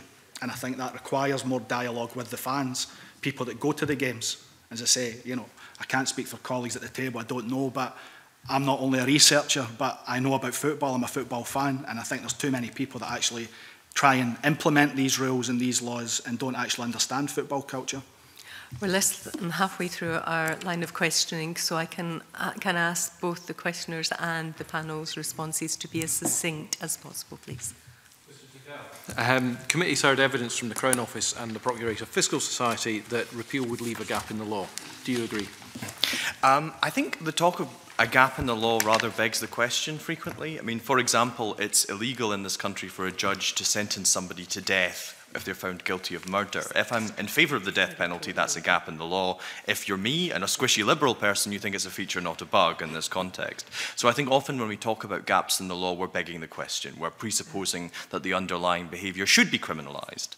Um, if I try and set aside that suspicion of the question, I suppose in terms of Section 6 of the Act, it is very difficult to argue, whatever you think of its merits, uh, that there is a specific criminalisation in Scotland of incitement to religious hatred. That provision, which does apply in England, doesn't apply in Scotland, in part because it was resisted by Scottish MPs when Tony Blair's government uh, brought it in uh, several years ago. So I think it would create a gap in the law. It may well be possible that individuals could be prosecuted under other existing offences, and, and that's one of the elements of this uh, scrutiny of this proposal to repeal the bill, which I find a wee bit baffling on some level. Many critics of this bill, several of them on this panel, panel would argue that it's illiberal, that it interferes with free expression. But the policing around football and policing of singing songs around football is not new. It wasn't invented by this parliament in 2012. Several breach of the peace cases before this act came into force criminalised people singing because sometimes words read in their context are different than words in other contexts. If I go back to Glasgow this afternoon, enter a Celtic pub and start singing the famine song, then that is obviously my free expression on one level, but of course it could lead to public disorder and could be analyzed under the rubric of breach of the peace. So I think I find the idea that we can comprehensively, rather glibly say we shouldn't criminalize speech doesn't really relate to the law as we have had it before the Offensive Behaviour at Football Act and presents a rather exaggerated image of its illiberalism. There are plenty of examples from the annals of our courts where just words have ended up in court. Thank you. Ben? Mr. Tickell, I wondered if you could elaborate on your specific concerns in relation to uh, the drafting of Section 1 and uh, your proposals for amendment. Yeah, so I think there are three particular problems with it. Firstly, we have the prohibited behaviours, the list of prohibited behaviours. There's five broad categories. There's expressing hatred against groups or individuals on the basis of protected characteristics. There's threatening behaviour, so behaviour that's threatening can be covered. Behaviour motivated by hatred, so that's behaviour which is not in itself an expression of hatefulness or is threatening, that's covered. And we have offensiveness. Now, personally, I don't think offensiveness is an appropriate threshold uh, for criminalisation. Uh, that's what's distinctive of this, of this act from the earlier breach of the peace provisions, which only criminalises behaviour which would cause the reasonable person to suffer uh, fear and alarm in the context that it takes place. So I think you should knock out that section uh, of Section 1. Secondly, the definition of public order in the Act is absolutely baffling in the sense uh, when uh, the Justice Minister, the Junior Justice Minister, came to the predecessor of this committee, uh, introducing this public order restriction. She represented it as a safeguard uh, for individuals who might be, find themselves accused of committing a criminal offence. But two things are excluded uh, from the sheriff's deliberations about whether, in the context that, uh, that this criminal act took place, uh, the public order uh, public disorder would arise. So we can discount the fact that public disorder doesn't happen because of the police being there. So if the police are there uh, and public disorder doesn't result, then the accused can't claim any benefit from that. But secondly, if there's no one there to be incited, if we're in the kind of scenarios you've been talking about, where I'm not marching into a Celtic pub to sing the famine song, but I'm in a, a certain kind of fraternal Protestant brotherhood that sees this as a, a way of articulating a shared identity, in that kind of context, the sheriff is invited to invent fictional, absent incites. So often, proponents of this legislation would say it's offensive in the context of football matches. Uh, and therefore it should be criminalized. That's often an argument you will hear. Whether or not you agree with that argument, the Act specifically instructs judges to completely ignore the actual context in which the behavior takes place. I think that's perverse. We can fix that too by knocking out that section, which invites the court to invent fictional incitees. The Scottish Government, even when they brought that in, recognized that that was a fairly indefensible uh, or not long term defensible uh, section of this legislation because it gave ministers the power to knock out using an order as opposed to primary legislation. So those are just a few of the examples of areas of problem and areas where there can be very straightforward fixes, leaving us only criminalizing hateful behavior, uh, which I know some members of the panel won't agree with,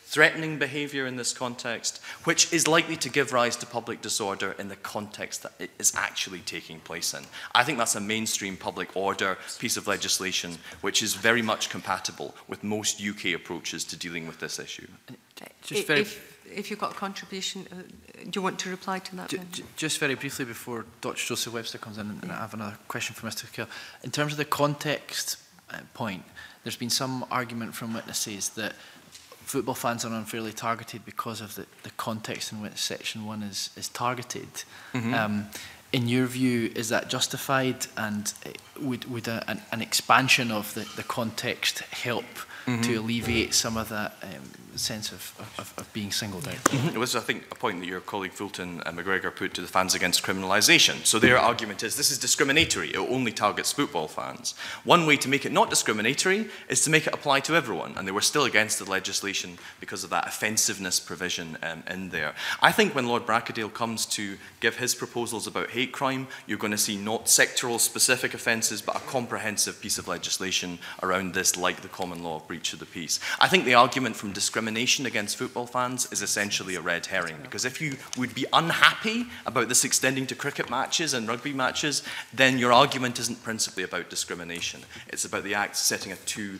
uh, low a hurdle for criminalisation. That would be my analysis. Mm -hmm. Briefly, Dr. Webster. Yeah, simply to come back on that to say that if we remove the pieces or the aspects of the legislation that is being suggested here, my sense is that uh, we lose everything that's distinctive about the Act, and therefore we have no need of the Act uh, in itself. So uh, existing legislation, particularly breach of the peace, which we've already discussed, would seem to uh, stand. If you take away particularly the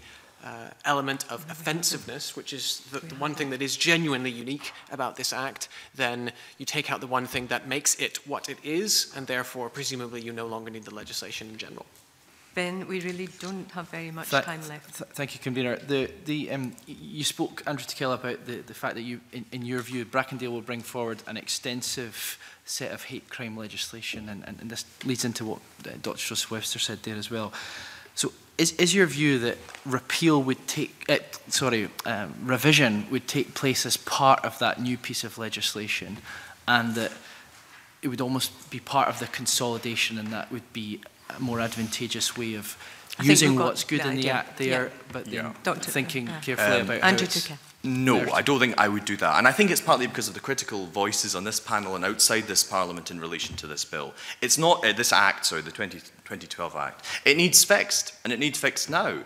And the power in Section 5 give, is given to the Scottish ministers by order to fix all the things that I've described. They could lay that before you tomorrow if they wanted within the procedures of the Parliament. I think that would be very sensible. It would deal with the substantive criticism of this legislation, and then an amended bill could go forward and be taken account of in the context of the Bracadale report. After all, that's going to be a complicated area of law. I dare say you'll want to hold uh, scrutiny and hearings, and a range of different folk will want to argue about what's in there. So that may be some way down the line in terms of that. But I think there's a strong argument to act now, not least because it would be good if the Scottish Government showed some recognition that they got this one wrong. Um, and many, many people who are otherwise sympathetic to them uh, recognized that in several elements of this legislation, they rushed through it too hastily and made mistakes, as we all do when we rush things, rush through these things much too hastily. That would can, be my analysis. Can I ask you about Dr. Uh, Webster's comment? If you, you remove all these things, the essence of the bill is gone anyway, so Well, I suppose on, there's two different answers, or two different ways you could look at that. Firstly, the message-related concerns, which a number of, of the folk that you've talked to would be, would be alleviated to some extent. There would still be a recognition of offending around football. Secondly, if you're a statistician, you might like the data, in the sense it's useful to be able to identify specific categories of offending around football, because after all, as I say, you don't have 20,000 people singing songs about up to your knees in Fenian blood at cricket matches. There is a particular set of problems around football in Scotland, and I think whatever whatever you think about this legislation, one can't be blind to that fundamental fact. Okay, Morris. i referring to your written submission, um, can you elaborate on the way that you, you said that what are your key concerns with regard to Section 6 offences? In terms of how they do not provide yes. suitable provision for... Yes. I mean, my, my, briefly, my point is very simple. My understanding is that um, Section uh, 5 uh, claims that it does not restrict the um, behaviors outlined in Section 7.1b, expressions of antipathy, dislike, ridicule, insult, and abuse. My sense is that the um, legislation is not sufficiently finely grained to allow particularly police officers on the ground to distinguish what is hatred mm -hmm. and what is antipathy, dislike, ridicule, insult, or abuse, mm -hmm. uh, and the inability to figure out which behavior belongs in which category leads to policemen being put in the position of needing to interpret all sorts of areas of gray, which, in conversation with police, my research suggests that they themselves really don't like being put in that interpretative mm -hmm. position. And also, this fuels um, resentment and anger among grassroots fans who feel that. Uh, expressions of antipathy, dislike, ridicule, insult, and abuse are indeed being criminalized, even though the legislation says that they are not. And just ask a quick question. Do you believe that's unfair then on the police to have to do that? To interpret these areas yes. of grey? The areas of grey? I think police interpret things all the time and generally do a very good job at doing so. The, the problem here is, is quite acute insofar as there are a number of different categories mentioned in 7.1b which require far more interpretation than the police would normally be expected to apply on other pieces of legislation. So I'm not against the police interpreting things because I think they're professionals and they do a good job at interpretation mm -hmm. in general. Uh, but the level of interpretation that we're expecting here goes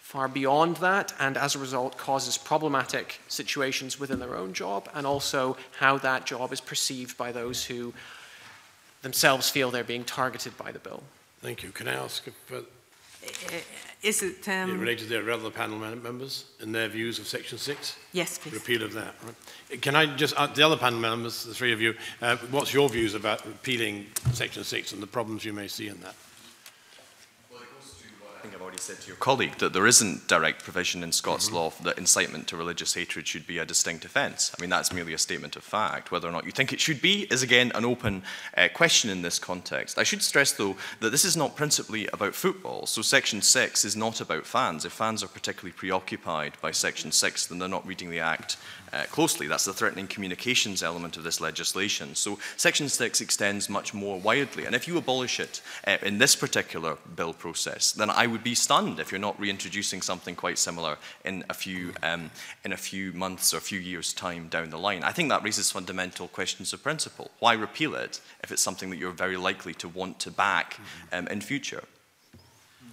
No stream.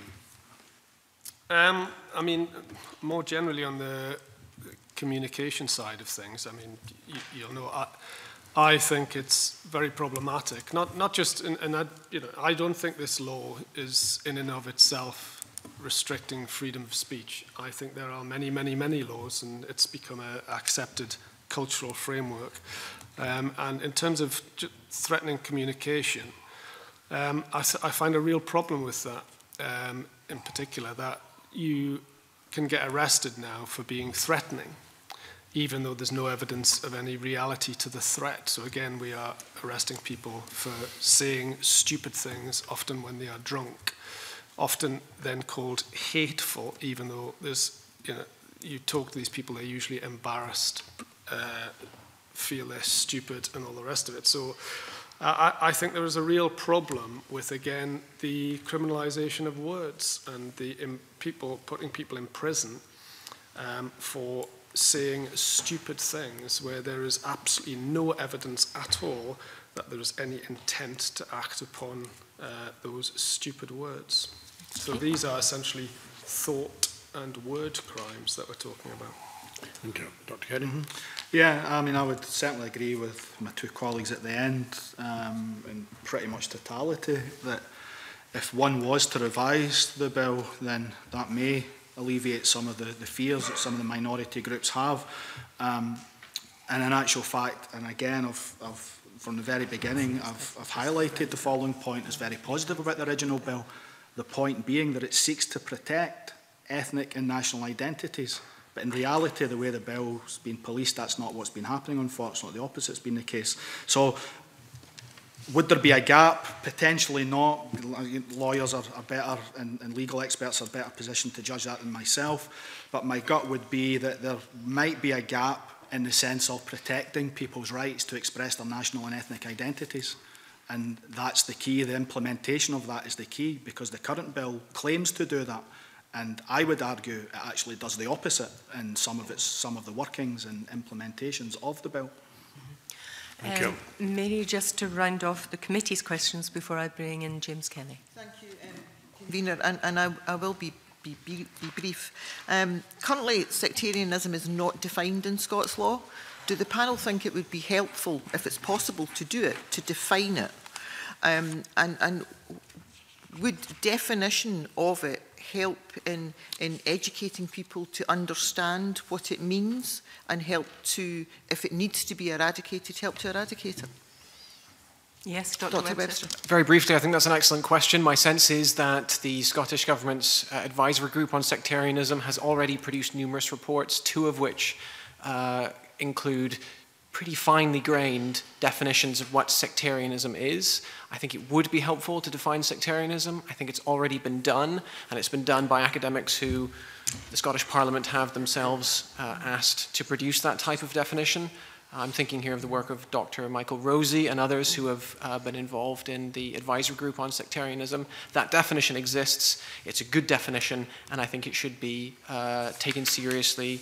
both uh, in the legislative process and also more widely in social and political debate.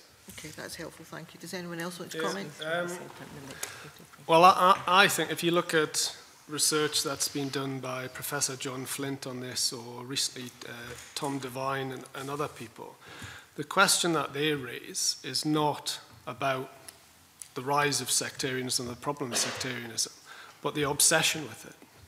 And they make the observation that, uh, as far as most people can see or would argue, the problem of sectarianism, certainly in terms of uh, religion or its relation to uh, troubles in Northern Ireland is a fraction of what it was. In fact, Graham Spears wrote an article in 1997, that's 20 years ago, almost a generation, making this point about people in wine bars being obsessed with sectarianism. I think he may have been in too many wine bars in the last two decades, but never mind. But uh, Tom Devine, for example, said, for most of the last century when the disease of sectarianism was rampant and noxious, it was little discussed in public, uh, or debated in public. Like an unpleasant smell at a middle class dinner party, everyone knew it existed there, but nobody wanted to talk about it. Today, with the old monster in its death throes, sectarianism has spawned a new growth sector, a well financed anti sectarian industry, a delicious irony indeed. And I think time would, and money would be better spent trying to work out why politicians talk about sectarianism so much at a time when, as uh, Tom Devine, who historically saw sectarianism as a problem, says that it is in its death throes. Okay, thank you. Dr Kelly, did you want to? Yes, I mean, uh, again, from the very early days of, of this bill and indeed before it, uh, as an academic and speaker in, in any kind of forum discussing these things, I've always said, let's define it, because uh, I don't think we have a clear definition in this country, although I take my colleague's point that the, the working group certainly provided what I thought was a fairly reasonable definition, and I think that needs to be a starting point, actually, if you are going to legislate for something that we generally call sectarian behaviour or sectarian identities. I think we do need to define it and agree on what it is, if indeed that's at all possible and you know the police are very good at interpreting, as again colleagues have said earlier. But I, I don't I think with this bill we haven't given them a framework around which to to even work from in terms of their interpretation, and it's led to all sorts of issues. And I have complete sympathy for for um, for the police and the courts as well as the football fans that have been arrested. How important is education then to, to change behaviour? And, and it could be a, generation, a generational thing, but how important is education? Absolutely. I mean, my, my, understanding is that we have a, a, a, debate maybe within the panel about whether or not we want to go down the route of education, whether we want to aim for behavior change. That's a separate debate. But if we do want to aim for behavior change, the crucial way to bring about behavior change is to um, engage in early years uh, education. Uh, you know, whether or not we um, value the aim of behavior changes is, is, is, a different debate, as I say. But if we want to uh, encourage people to do certain things and not do others, we probably need to start telling them that when they're about age three or four, not when they're aged 18, 19, 20. By then, uh, in terms of behavioral science perspectives, it's simply too late. Okay, thank you. Thank you. Uh, James Kelly. Okay, thank you, Convener. Uh, I've got a question for each uh, panellist. Um, start with Dr Waiton. You've uh, criticised the authoritarian uh, nature of the Act in your submission and also in your, uh, your evidence this morning. Uh, just wondered what your view is of the policing of the Act, the way it's been policed. Um, well, it's an interesting one because I was invited into Ibrox to look at the policing because the police are aware of uh, my interest in this. And then I was invited into to Hamden to watch the uh, Old Firm semi-final, um, which was a bit more interesting, where 20,000 people did start singing uh, Billy Boys, although they've been trying to hold on to their tongues uh, clearly for as long as possible, and then it just exploded um, didn't seem to create a public order issue, uh, is perhaps worth noting. Um, but as far as I can tell from the fans' responses, fans' responses in terms of uh, contact that I've received um, over the years, there is a sense of the um, escalation of surveillance, I suppose. I don't, I don't think it necessarily leads to arrest, but an escalation of surveillance and a sense that they are being policed permanently um, and have to watch their words, which some people would say uh, is, a, is a good thing. But I think that is a, a, um, a sentiment uh, amongst fans. There's also, uh, especially amongst Rangers fans, a growing resentment, I think, uh, uh, at least from a, a small piece of research I did, about what they see as Celtic being grasses in other words. Not, and this is not in relation to this bill particularly, um, but in general, but a sense that Celtic fans tell the police. Uh, and I think there's a new tension, and potentially a tension will develop amongst other fans, where there is a feeling that different fan groups um, essentially tell tales on one another.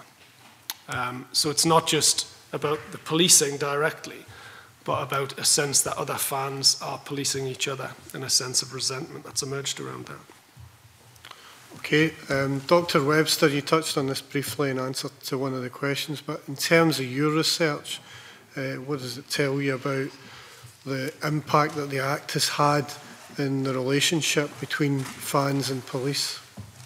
I think it's a really important question. My sense is that it's done uh, two things. One, it has changed the way in which certain behaviors that are deemed offensive by the Act are enacted, in some cases in, in quite ingenious ways. We might not like the behaviors, but for instance, the idea of holding your hand in front of your mouth whilst you chant something well aware that you are being recorded by CCTV during that speech act indicates that we are seeing behavior change, but we're not seeing a decrease in offensive behavior. We're simply seeing a different way that that behavior is being enacted. Um, my second uh, observation is to simply say that both sides of the sectarian divide, if you want to use Celtic and Rangers as the kind of typical case here, but my sense is that it's not typical at all, but let's put that aside for a moment.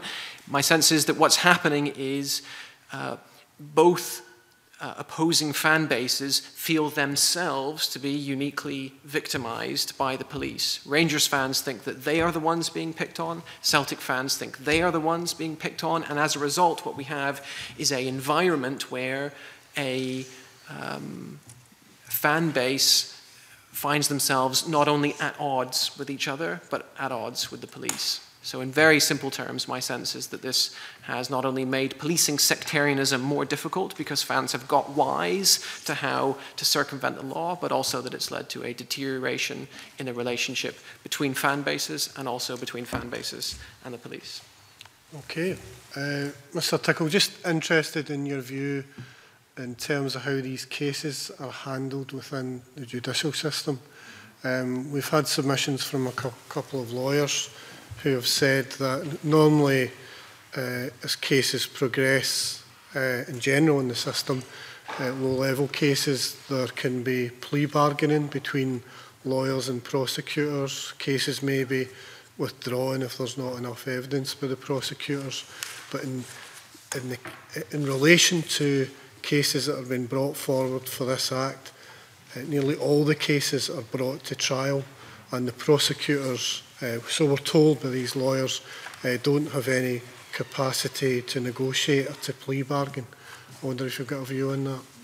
It certainly is likely to be the case, I think, given the high priority that the Crown Office, who got very involved in bringing this bill uh, to fruition, um, took towards the Football Act, that it was an important tool as they presented it to the Justice Committee of the time to deal with it. So they've clearly felt that they had to back it up all of the way. And as we've seen with the domestic abuse interventions, for example, from the police with the Crown Office, that if there is a policy coming out of Chambers Street, which is then enforced by Procurator Fiscals across the entire country, then their liberty to deal with cases in different ways will be um, restricted in that. I think that seems to be a clear, a clear example. Of course, one point that many critics of the bill would make is the conviction rates, despite all these cases going to court, are still not great. I mean, even the most recent figures still have uh, charges under the Football Act, the conviction rate being slightly lower than the general average of about 87%. Um, Maybe that's because cases are ending up in court, which might not otherwise have done so if prosecutors uh, had more discretion about, about particular cases before them.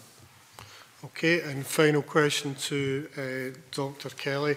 When the original legislation was brought forward in 2011, you made the, the reasonable point that the law needs to be explicit and unequivocal, and you uh, were anxious about the proposed legislation back then, and that it wasn't clear what was allowed and what, what is uh, mm -hmm. prohibited. Um, having seen the the Act passed and then implemented over five years, uh, how do you feel those issues uh, have played out? I told you so. they've, they've, they've come, they've, what, what was predicted by not just myself, but what was predicted by a number of people, a number of people who understand Scottish football and are football fans and researchers within football and possibly some of all of the above. Many of us suggested that this was likely to happen, that the police, and again I come back to the police, that they, they were being asked to do an impossible task, an impossible job. And again, I agree with my colleagues. I think what's happened is we've had, rather than more tolerance and decency, if you like, even though, as I say, I don't think offence should be, a, should be illegal, but, but even lack of offence, I think it's gone the opposite. There's been mistrust, both, between fans and indeed between the police and fans. There's been hyper, a, a certain feeling of hyper-surveillance um, and there's been a feeling that possibly even in some cases wrong, wrongly, but wrongly feeling that some behaviours that actually aren't being targeted are being targeted. So there's, so there's just confusion pretty much around it. And as, again, as far as I'm concerned, a lot of it comes back down to the very fact that this what was being policed wasn't well worded, wasn't purely defined, clear, clearly defined rather, and that might come back to some of the points if, if we are seeking to criminalise um, sectarianism, intolerance against someone else's sectarian identity, then we need to be absolutely clear about defining that and defining that for the police, defining that for schools, defining that for discussions, and indeed, if we're going to have education, discussions about it, not only, the, not only trying to train children to behave in a particular way, but to actually question why people are offended by these identities in the first place. I think that, that's crucial to any education programme on these issues. So I'm going a wee bit back to a point previously. Um, but I'm, I'm not surprised, I'm just in fi final summary of that, I'm absolutely not surprised what's happened has happened. And again, I think most commentators would agree that it's largely, not exclusively, but largely due to poor wording of the bill and a lack of agreement about what is offensive and what is a human right to express an identity. Can I, can I say one very brief point on this?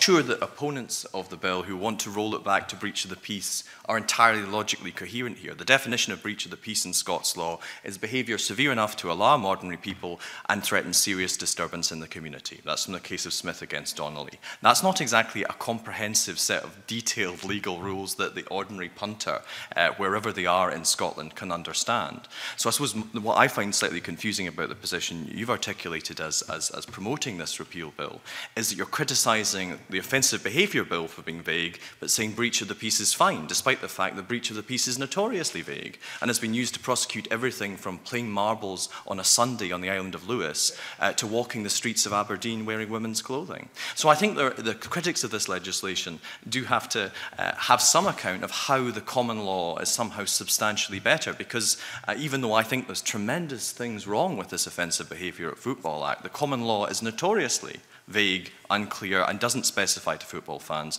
what is and is not criminal. And that's what we'll obtain if this bill uh, passes a European Appeal to Football Act. Last word, Dr. I really want to come back on that just briefly. My sense is that what we have within the 2012 Act is a unique combination of problematic specificity and problematic vagueness. So we have the worst of both worlds, and what the breach of the peace offers, I think, is a, uh, a not perfect but sufficiently general form of legislation to deal with these behaviors without getting caught up into reality or perception about this being targeted at football fans or indeed um, kind of including and weaving through the 2012 Act rather problematic specific attention to the nature of offensive behavior. So I'm not saying breach of the peace is perfect, but certainly my sense is that uh, what we have in the 2012 Act is a damaging combination of problematic specificity and problematic vagueness. That uh, concludes our lines of questioning. Can I thank all the uh, witnesses for attending and for your participation in helping uh, the committee scrutinise this legislation. Agenda item six is feedback from the Justice Subcommittee on Policing on its meeting of 9th November 2017. Um, following a verbal report, there will be an opportunity for brief comments from, um, from members. I refer members to paper seven, which is the note by the clerk. Uh, Mary. Convener, the Justice Subcommittee on Policing met on the 9th of November 2017 when it held an evidence session on the police services budget planning for 2018-19 in preparation for the publication of the Scottish Government's draft budget 2018-19 in December. The subcommittee took evidence from the Association of Scottish Police Superintendents, Police Scotland, the Scottish Police Authority and the Scottish Police Federation. The subcommittee heard about actions taken by Police Scotland and the Scottish Police Authority to support financial planning and to develop its three-year and 10-year financial plans, and that the Auditor General is to publish a Section 22 report again this year. The subcommittee heard that more is needed to be done to involve the unions and staff associations in discussions about budget priorities and future financial planning. It also heard about a reduction in custody capacity and the impact of the transfer of prisoners between custody centres. The next meeting of the subcommittee is scheduled for Thursday the 23rd of November when it will take evidence on the progress of the independent investigations into Police Scotland's Counter-Corruption Unit and I'm happy to answer any questions. Thank you, any questions from Mary John Finney? Convener, I'll just make a brief point that, that uh, although it was a budget, there was very important information forthcoming on the issue of, of custodies, and uh, I was keen that we had a, a human rights assessment given to us by Police Scotland in respect of their current arrangements. I understand that has been asked for, but I do think that the, the, the subcommittee needs to look deeper into that issue. I think there are some significant matters we need to address. Yeah, there was certainly additional information yeah. requested and will be received on a, a number of yes. issues that were raised. Um, that being no more questions, thank you for that, Mary. Agenda item number seven invites members to delegate responsibility to me to arrange for the SPCB to pay on request witness expenses for the current civil litigation bill. Are we agreed? Thank you.